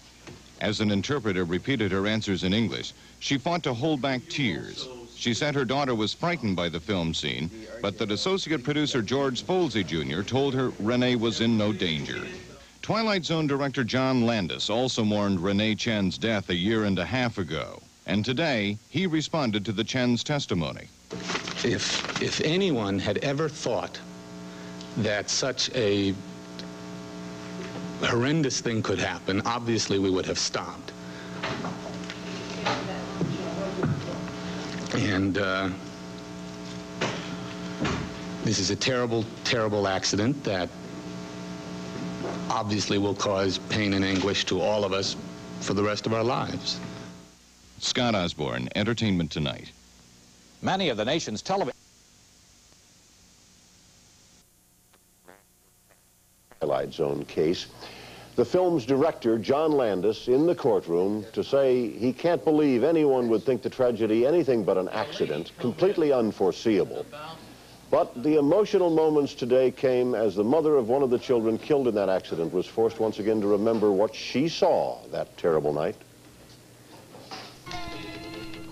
There was dramatic testimony in a Los Angeles courtroom today as the parents of two children killed during the filming of the Twilight Zone movie took the witness stand. Vicki Vargas covered the preliminary hearing. As she is in the newsroom now with this report tonight. Vicki. Tricia, in court today, the parents of Renee Chen and Michael Lee said they were never told their children would be working near a low-flying helicopter. Ironically, the characters they played in that movie were the only two survivors in a small Vietnamese village. In the movie, the Vietnamese village is under attack. The scene calls for actor Vic Morrow to carry six-year-old Renee Chen and seven-year-old Michael Lee through the water to safety. But suddenly, a special effects explosion turned the make-believe drama into a real-life tragedy. The low-flying helicopter crashed into the water, killing all three actors. The cameras captured the action. So did Michael Lee's father. I was so horrified. I was screaming. And I was second blast. Uh, I fell down on the ground. And I was screaming, you know, and I cried, God, I don't know what I did, but I was so horrified. I, I, was so fearful. And I knew it's danger. It's not, you know, something made up, but it's real danger. But it was too late for me to do anything. The parents of both child actors witnessed that fatal crash. In court today, the parents of each child testified that unit manager George Folsey handed them $500 in cash before the accident and told them the children would never be in any danger. Uh, I saw a helicopter fell down. that you ever been told that there would be a helicopter that would be flying that low right over the children? 那么从来有没有人告诉你说有一个直升机会在孩子的头上很低的这样飞吗？No. The idea that this could have been any... The judge decides there's enough evidence to go to trial. But the defense attorneys say the crash wasn't caused by an explosion from the special effects. However, they will not say what they believe caused the accident. Tricia and Jack, back to you. Thank you very much. And wrenching moment will to trial on involuntary manslaughter charges in the Twilight Zone movie deaths. Testifying in Mandarin Chinese, the mother of six-year-old Renee Chen said she saw her daughter killed after being assured the child was in no danger. A helicopter filming a Vietnam War scene fell on the girl, another child performer, and actor Vic Morrow, killing all three. The mother said, I saw a helicopter fall down and many fire sparks, also noise. And then she broke down. The district attorney halted the questioning. Later, movie director John Landis spoke about the deaths. Entertainment industry. 夫妻 say to you? 呃，夫妻跟你讲什么？他说没有危险，只有噪音。没有危险，只有噪音。 He said there's, uh, it is not dangerous, only uh, noise. Then later she was told what to say to the fire inspectors if she was asked if her daughter was being paid. He said, if fireman approaching you, crossing you, tell him that you are a friend, helping me out. Don't say anything about being paid money. Her description of the crash climaxed Mrs. Chen's testimony, and the defense declined to cross-examine. But director John would be followed by that of the parents of the other child actor. The court has a list of 60 potential witnesses in the hearing, which means it'll be a lengthy one. Three to four weeks is the best estimate. At the Los Angeles County Courthouse, Mike Botula, Channel 5 News at He said have come back vividly in court. Scott Osborne has the story. In 1975, Daniel Lee boarded one of the last flights from Saigon before South Vietnam fell. He left with his wife, Kim Hoa Lee, and their newborn son, Myca Dinh Le. Seven years later, Myca would die filming The Twilight Zone in a recreated Vietnam battle scene. Daniel Lee watched as his son and another child, Renee Chen, died in the arms of actor Vic Morrow. After the first blast, uh, I became so horrified. All the memory of the war come to my mind. I was so horrified. I was screaming. And with second blast, uh, I fell down on the ground. And I knew it's danger. It's not, you know, something made up, but it's real danger. If I have any idea, any single idea, my son could be involved in such area, I will never allow him to be there, nor myself to be there.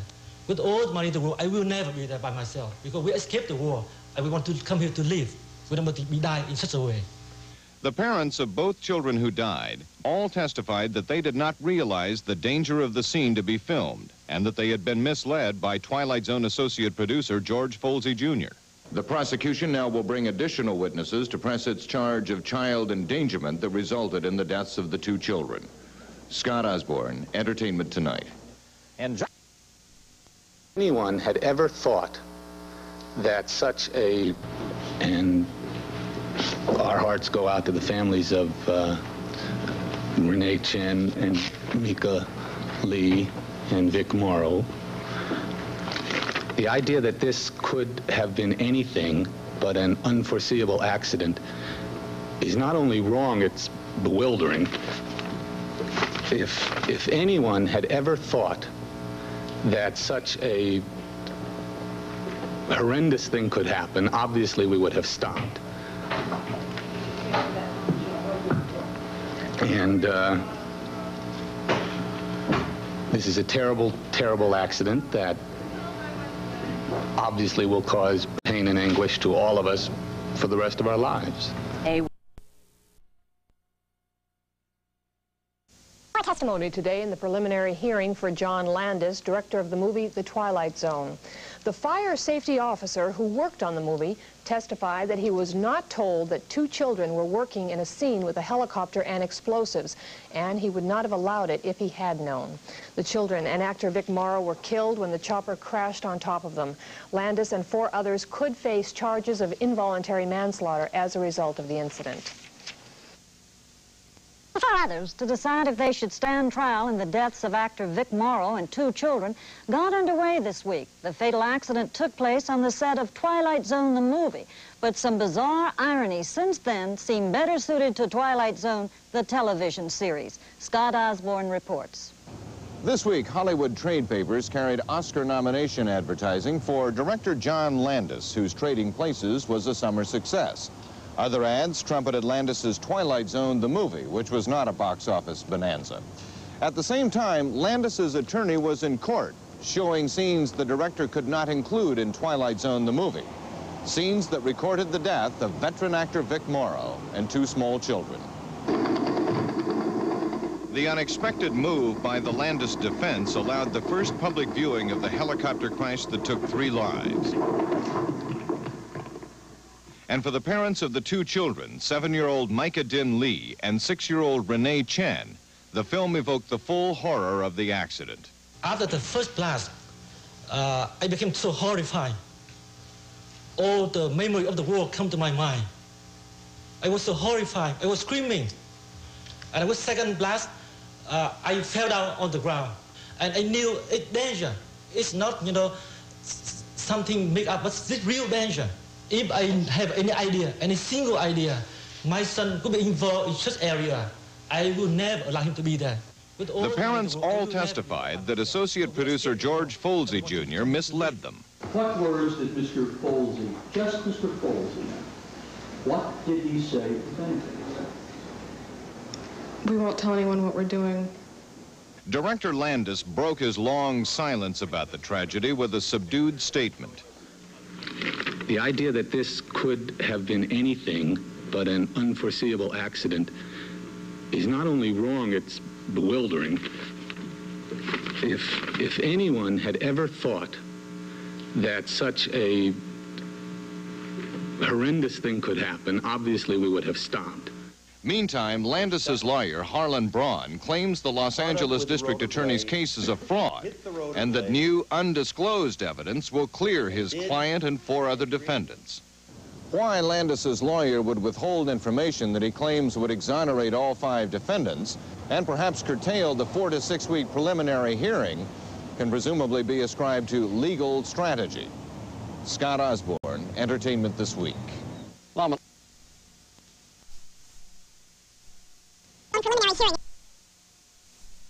Yesterday, the fire safety official who was on location when a helicopter accident took three lives testified he would have shut down production had he known children were involved.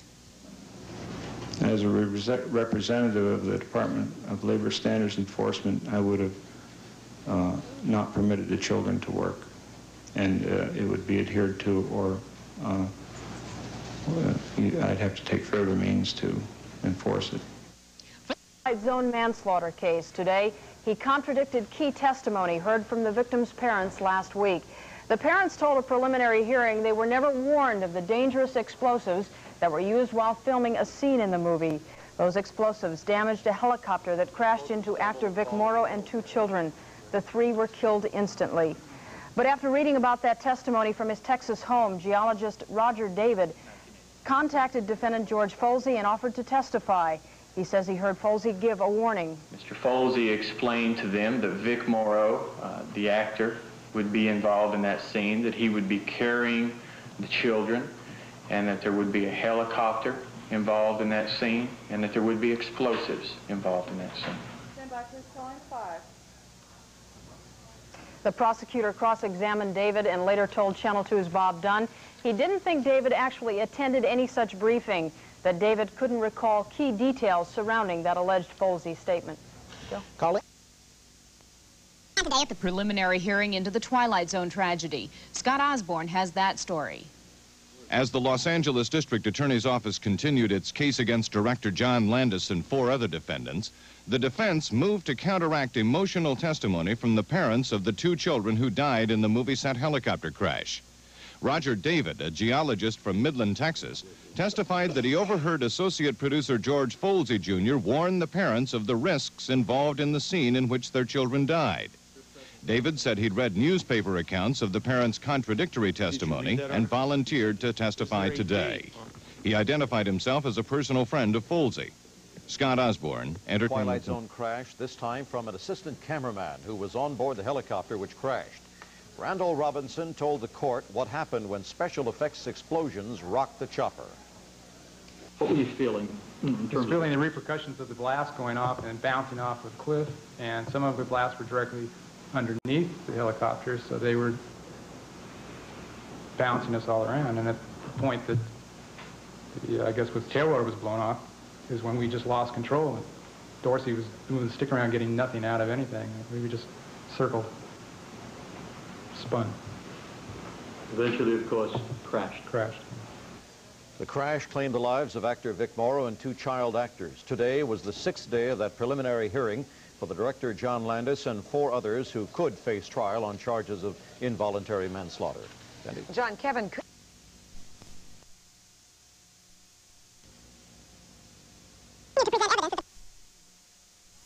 Helicopter accident that claimed three lives. Scott Osborne reports.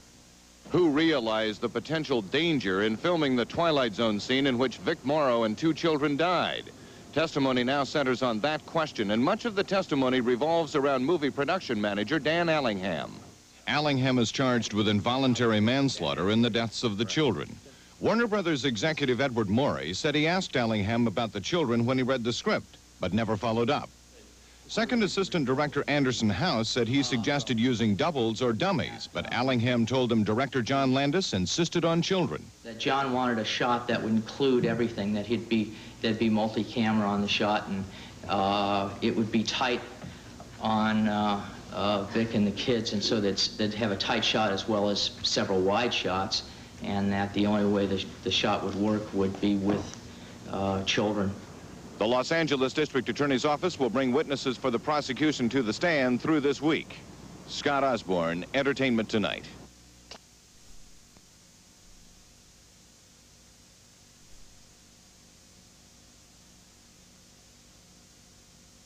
With unit manager Dan Allingham, Channel 2's Bob Dunn was there.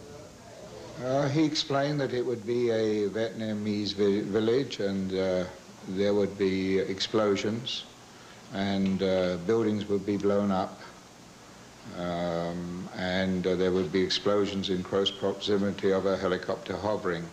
When I found out what he wanted me to do, I explained to him that uh, I didn't think it was a good way to do the shot uh, and uh, it, it's extremely dangerous being around explosives and uh, one has to take care and uh, a helicopter should have a form of momentum. I suggested the shot could be done with the helicopter in a forward momentum. I also said that normally with gunships they're not hovering around uh, compounds being blown up. Was there any indication as to whether or not you would receive further communication from either Mr. Allingham or the Landis production? Uh, no, I was uh, less than enthusiastic, uh, and it just parted it like that. Defense attorneys objected strenuously to what they say are Gamble's personal standards, pointing out that there are no established industry standards for using helicopters in connection with special effects explosions in movie making. Gamble was then asked what he would have done after seeing the explosions on the earlier flight the night of the accident. I'd immediately uh, required an explanation, and uh, if the scene was not being changed, I would have probably taken my helicopter and gone home. All the defense attorneys completed their cross-examination of John Gamble today. There will be no court session tomorrow, and the prosecution will present more eyewitnesses to the fatal crash on the witness stand on Monday. Colleen? Thanks, Bob. Hello again, everybody. I'm Ron Hendren. And I'm Mary Hart. There's a big controversy over a movie called... White Day and two controversies connected with movies, a hearing on child labor laws and continuing testimony in the Twilight Zone preliminary hearing. Scott Osborne reports. When a helicopter crashed and killed actor Vic Morrow and two children, assistant cameraman Randall Robinson was aboard the craft. He'd been alarmed, he said, by an earlier attempt at filming the scene. What we were discussing, uh, did anybody, do they realize that we don't, that we don't want to, uh, how intense that blast was? And I didn't think it was much fun. I wanted to make sure that, that it went on record. And, uh, and then uh, the director turned around and said that that's just a warm-up for what's coming. Who gave orders to the helicopter during the fatal battle scene? Makeup artist Melanie Levitt testified that orders came from director John Landis. He said, lower, lower, lower, fire, fire. Fire, fire. Did those words have any meaning as you understood them? That was the cue for the special effects, for the explosions. And the prosecution read into the record Vic Morrow's last line of dialogue in Twilight Zone, the movie. Quote, I'll keep you safe, kids. I promise nothing will hurt you. I swear to God. Meantime, Hollywood producers and the Screen Actors Guild are calling for changes in California. Who had worked on the Twilight Zone movie set at the time a helicopter crashed, killing actor Vic Morrow and two child actors.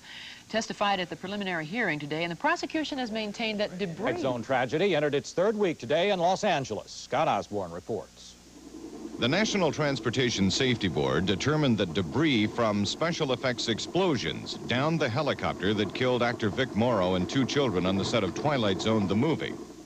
Today, the Los Angeles District Attorney's Office called Kevin Quibble to the stand. Quibble, a special effects technician, has been granted immunity in the case. Do you recall However, Quibble appeared to back down from earlier testimony before federal investigators. Asked repeatedly about that testimony, Quibble could not recall specific details about the accident. Scott Osborne, Entertainment Tonight. Now, the crash that claimed the lives of two child actors and Vic Morrow on the set of Twilight Zone the movie continues in Los Angeles. Scott Osborne reports. Two special effects technicians testified they thought the fatal Twilight Zone scene was safe when they detonated explosives that allegedly downed a helicopter, killing Vic Morrow and two children. Did you think it was dangerous? No, sir. If you thought it was dangerous, would you have done it? No, sir. When you knew it was dangerous, would you do it? No, sir. Would Paul Stewart be able to convince you to set off something that was going to endanger the safety and limbs of those around you and the crew and the spectators and the cast? No, sir. Both technicians who have been granted immunity said they had final authority to abort the pyrotechnics if they had foreseen danger. Scott Osborne, Entertainment Tonight. Now,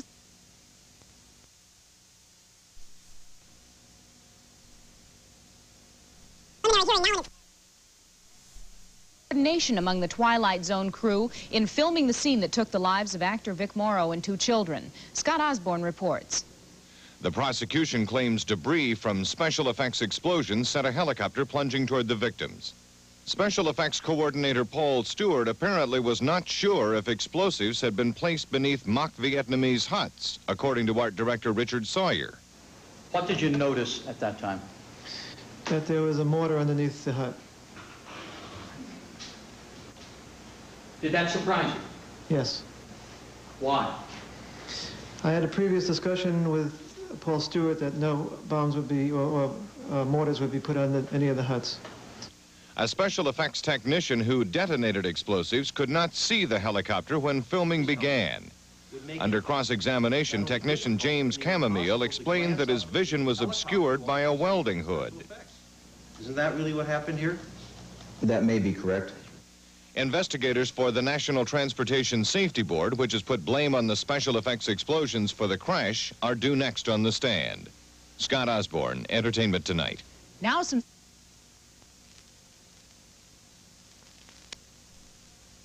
filed in connection with the fatal Twilight Zone movie set accident are in phase two tonight.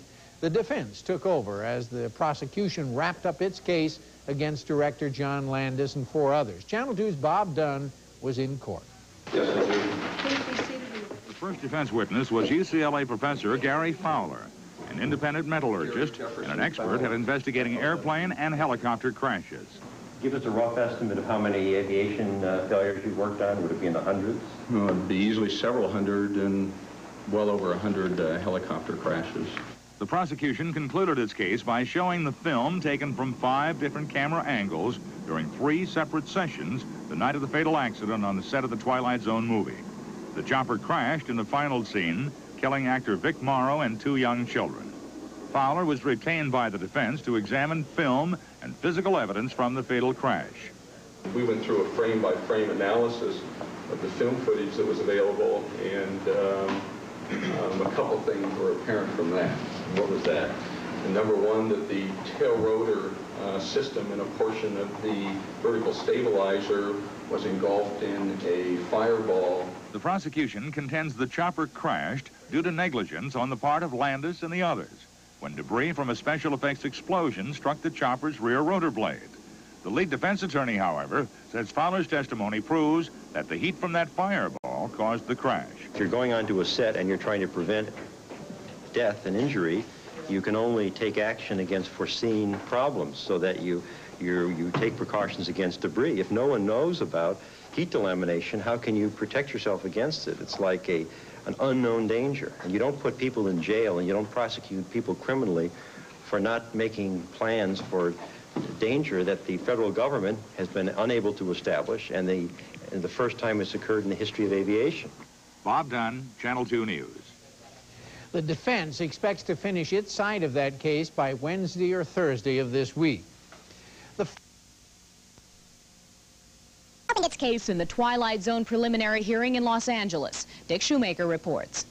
The prosecution rested its case yesterday by showing more footage of the helicopter crash that killed actor Vic Morrow and two children. This is a rehearsal of the scene with sound, showing the extent of the special effects explosions.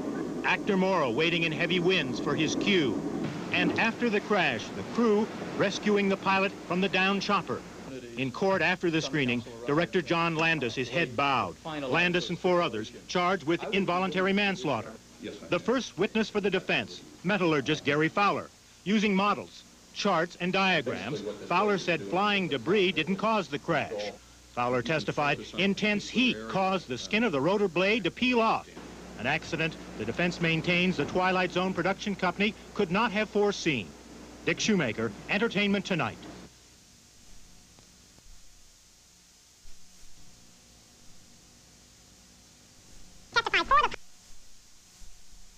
Channel 2's Bob Dunn was in the courtroom. We went out with, um, arranged to get a helicopter from Western Helicopters, and Dorsey and I, and as Dorsey is a pilot, and the uh, two attorneys, we flew from Rialto and went out to the Indian Dunes area. That time we had Dorsey refly the flight pass that he had gone through in the, the days then leading up to the accident at Indian Dunes. Webster is an aviation safety consultant and an expert helicopter pilot with 5,000 hours. He was called as a witness for Dorsey Wingo, the pilot of the helicopter that crashed on the set of the Twilight Zone movie in June of 1982. Wingo is charged, along with director John Landis and three others, with involuntary manslaughter as a result of the crash that killed actor Vic Morrow and two young children.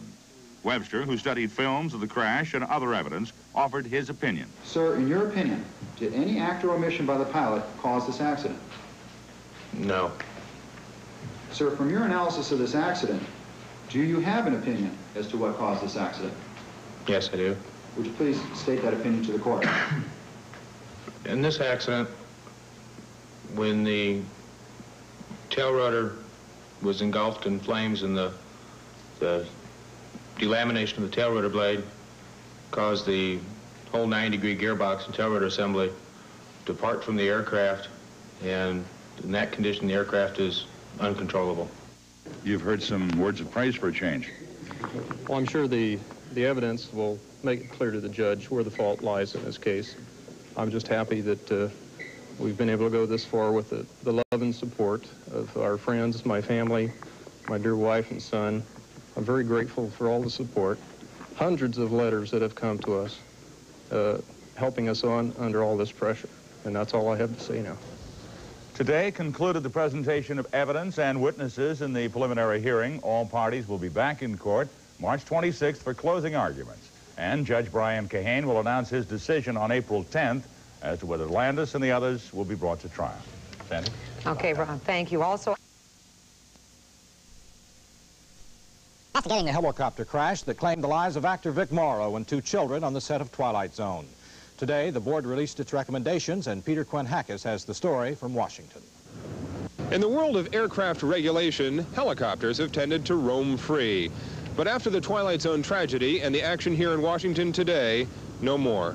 The board found director John Landis and the helicopter pilot both share responsibility for the crash. The director shouldn't have drawn the aircraft so close to the explosives. The pilot shouldn't have done it. The actual cause, flying debris from one detonation dented the tail rotor. The rotor tore itself apart. The helicopter crashed. The board now recommends the same stringent requirements for helicopters as airplanes for movie work, including filing explicit flight plans or manuals with the Federal Aviation Administration before a difficult stunt. But how would that have helped the three actors killed on the Twilight Zone set? Well, if the FAA has to approve the manual, and the manual calls for a helicopter to fly 24 feet over someone's head, it might not be approved. The board's recommendations should soon become law. But whether that will slow the pace of directors striving for ever more realistic shots remains to be seen. In Washington, Peter Quinn Hackes, Entertainment Tonight.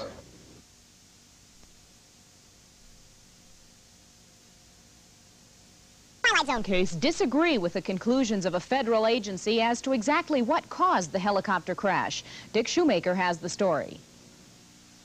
The Federal Safety Board found that a debris-laden special effects explosion probably caused the helicopter to crash, a finding disputed by the attorney for John Landis.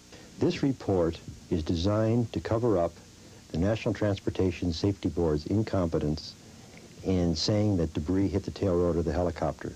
Attorney Braun claims intense heat that was unforeseeable caused the rear rotor blade to separate. The prosecutor disagrees. The National Transportation Safety Board is saying that that helicopter should never have been positioned as close as it was to a special effect explosive which had both debris and heat contained in it.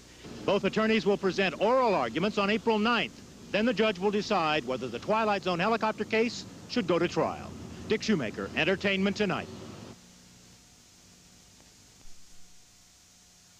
involved in the film face criminal charges for the Twilight Zone chopper crash. Trial for manslaughter. The director of that sequence in which a helicopter crashed and killed three actors is John Landis. He was one of three singled out to face criminal charges.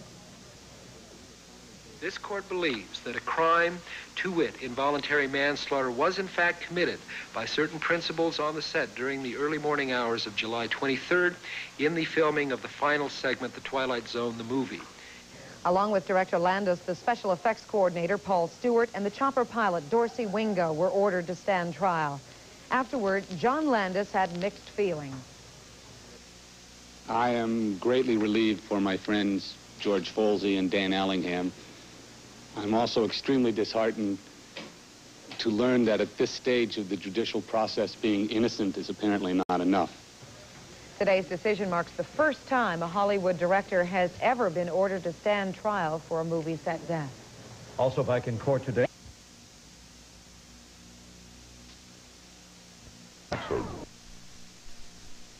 Children while filming the movie The Twilight Zone. Channel 2's Bob Dunn has more. Director John Landis was in a rare good humor as he smiled and shook hands with fellow defendants, pilot Dorsey Wingo and special effects coordinator Paul Stewart. However, the smile soon disappeared when Landis heard Judge Brian Crahan rule that he, Wingo, and Stewart must stand trial for involuntary manslaughter. This court believes that a crime, to wit, involuntary manslaughter, was in fact committed by certain principals on the set during the early morning hours of July 23rd in the filming of the final segment, The Twilight Zone, the movie.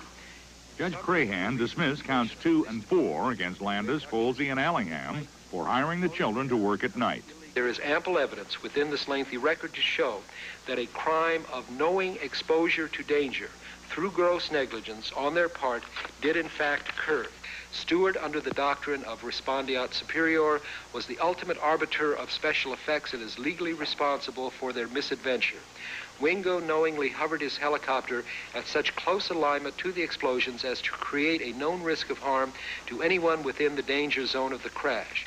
Finally, Mr. Landis, with his quest for cinema verite, directed the actors, as it were, including other principals, to demonstrate an effective conclusion to his film segment, which would be both noteworthy and memorable. I am greatly relieved for my friends George Folsey and Dan Allingham.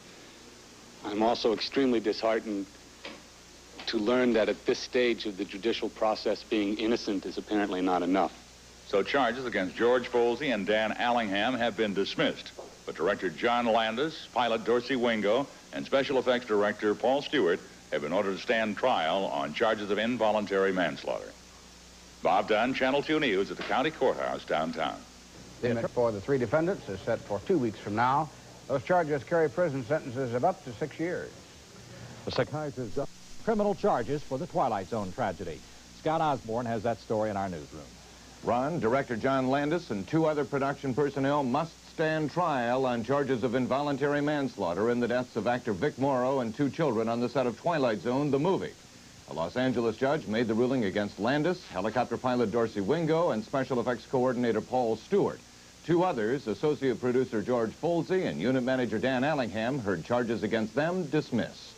Mr. Landis, with his quest for cinema... died in the early morning hours of July 23, 1982. Nearly a year later, on the day the film opened, a Los Angeles County grand jury handed up involuntary manslaughter indictments against director Landis and the other production personnel. But defense attorneys sought a pretrial hearing on those charges.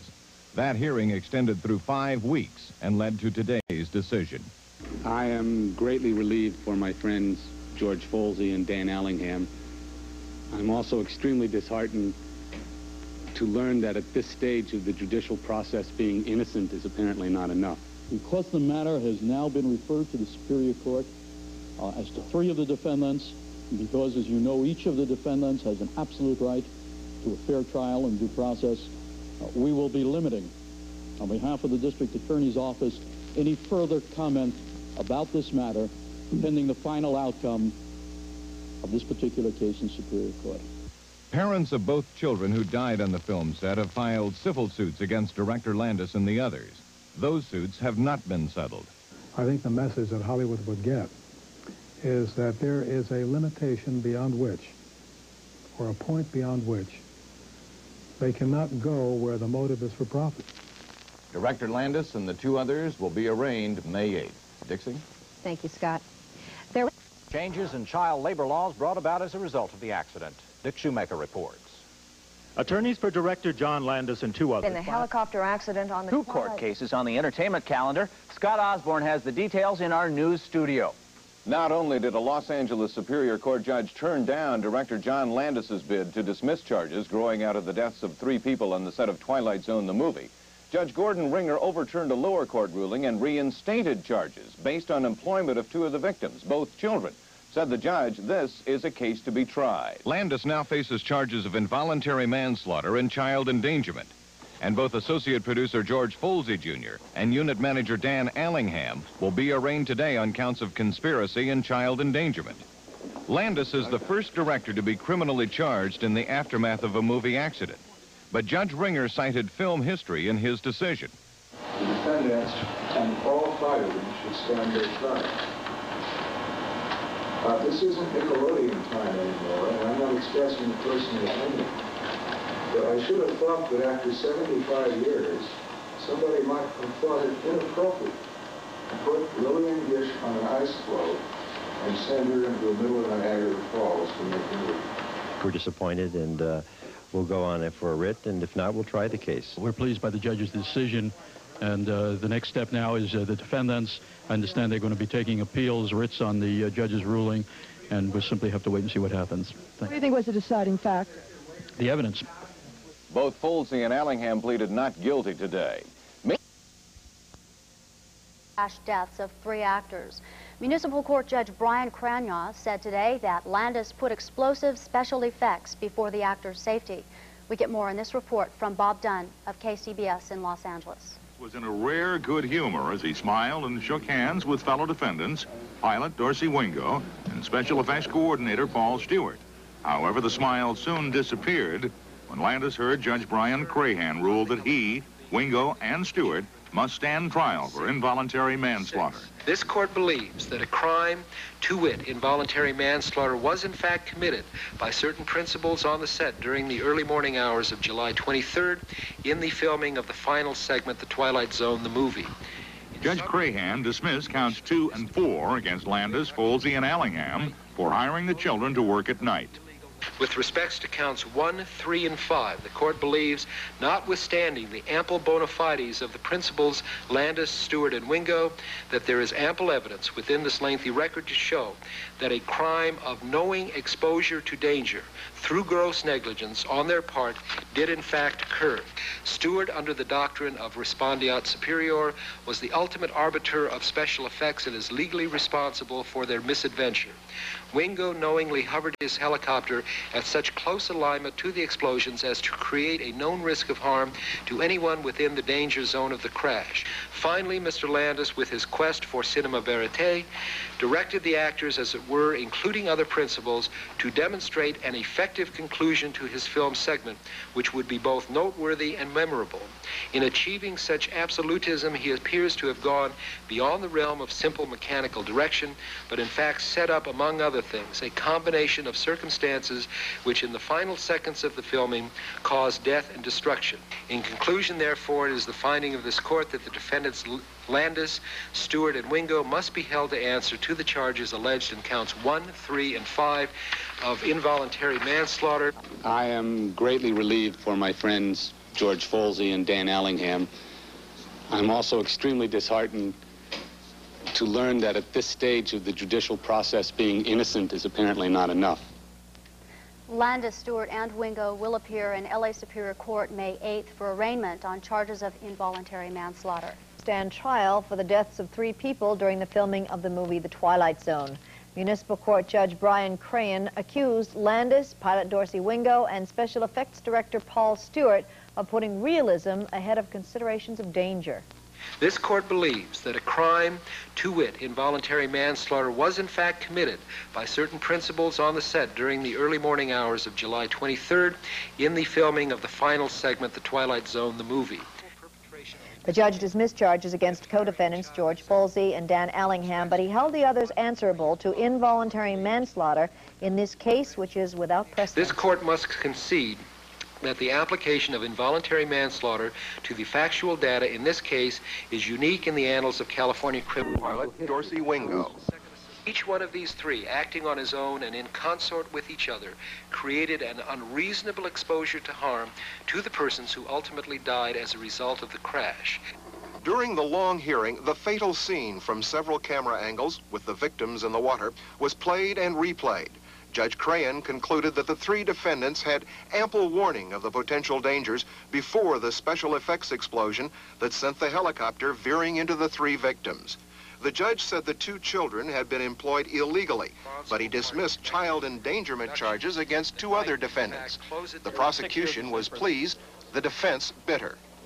I'm also extremely disheartened to learn that at this stage of the judicial process, being innocent is apparently not enough. Believe that if you're in Hollywood and you're and you have a high, there is a high visibility that you're not going to get uh, equal justice. The three defendants face arraignment on May 8th. If convicted of all charges, each of them could be sentenced to up to six years in prison. David Dow, CBS News, Los Angeles.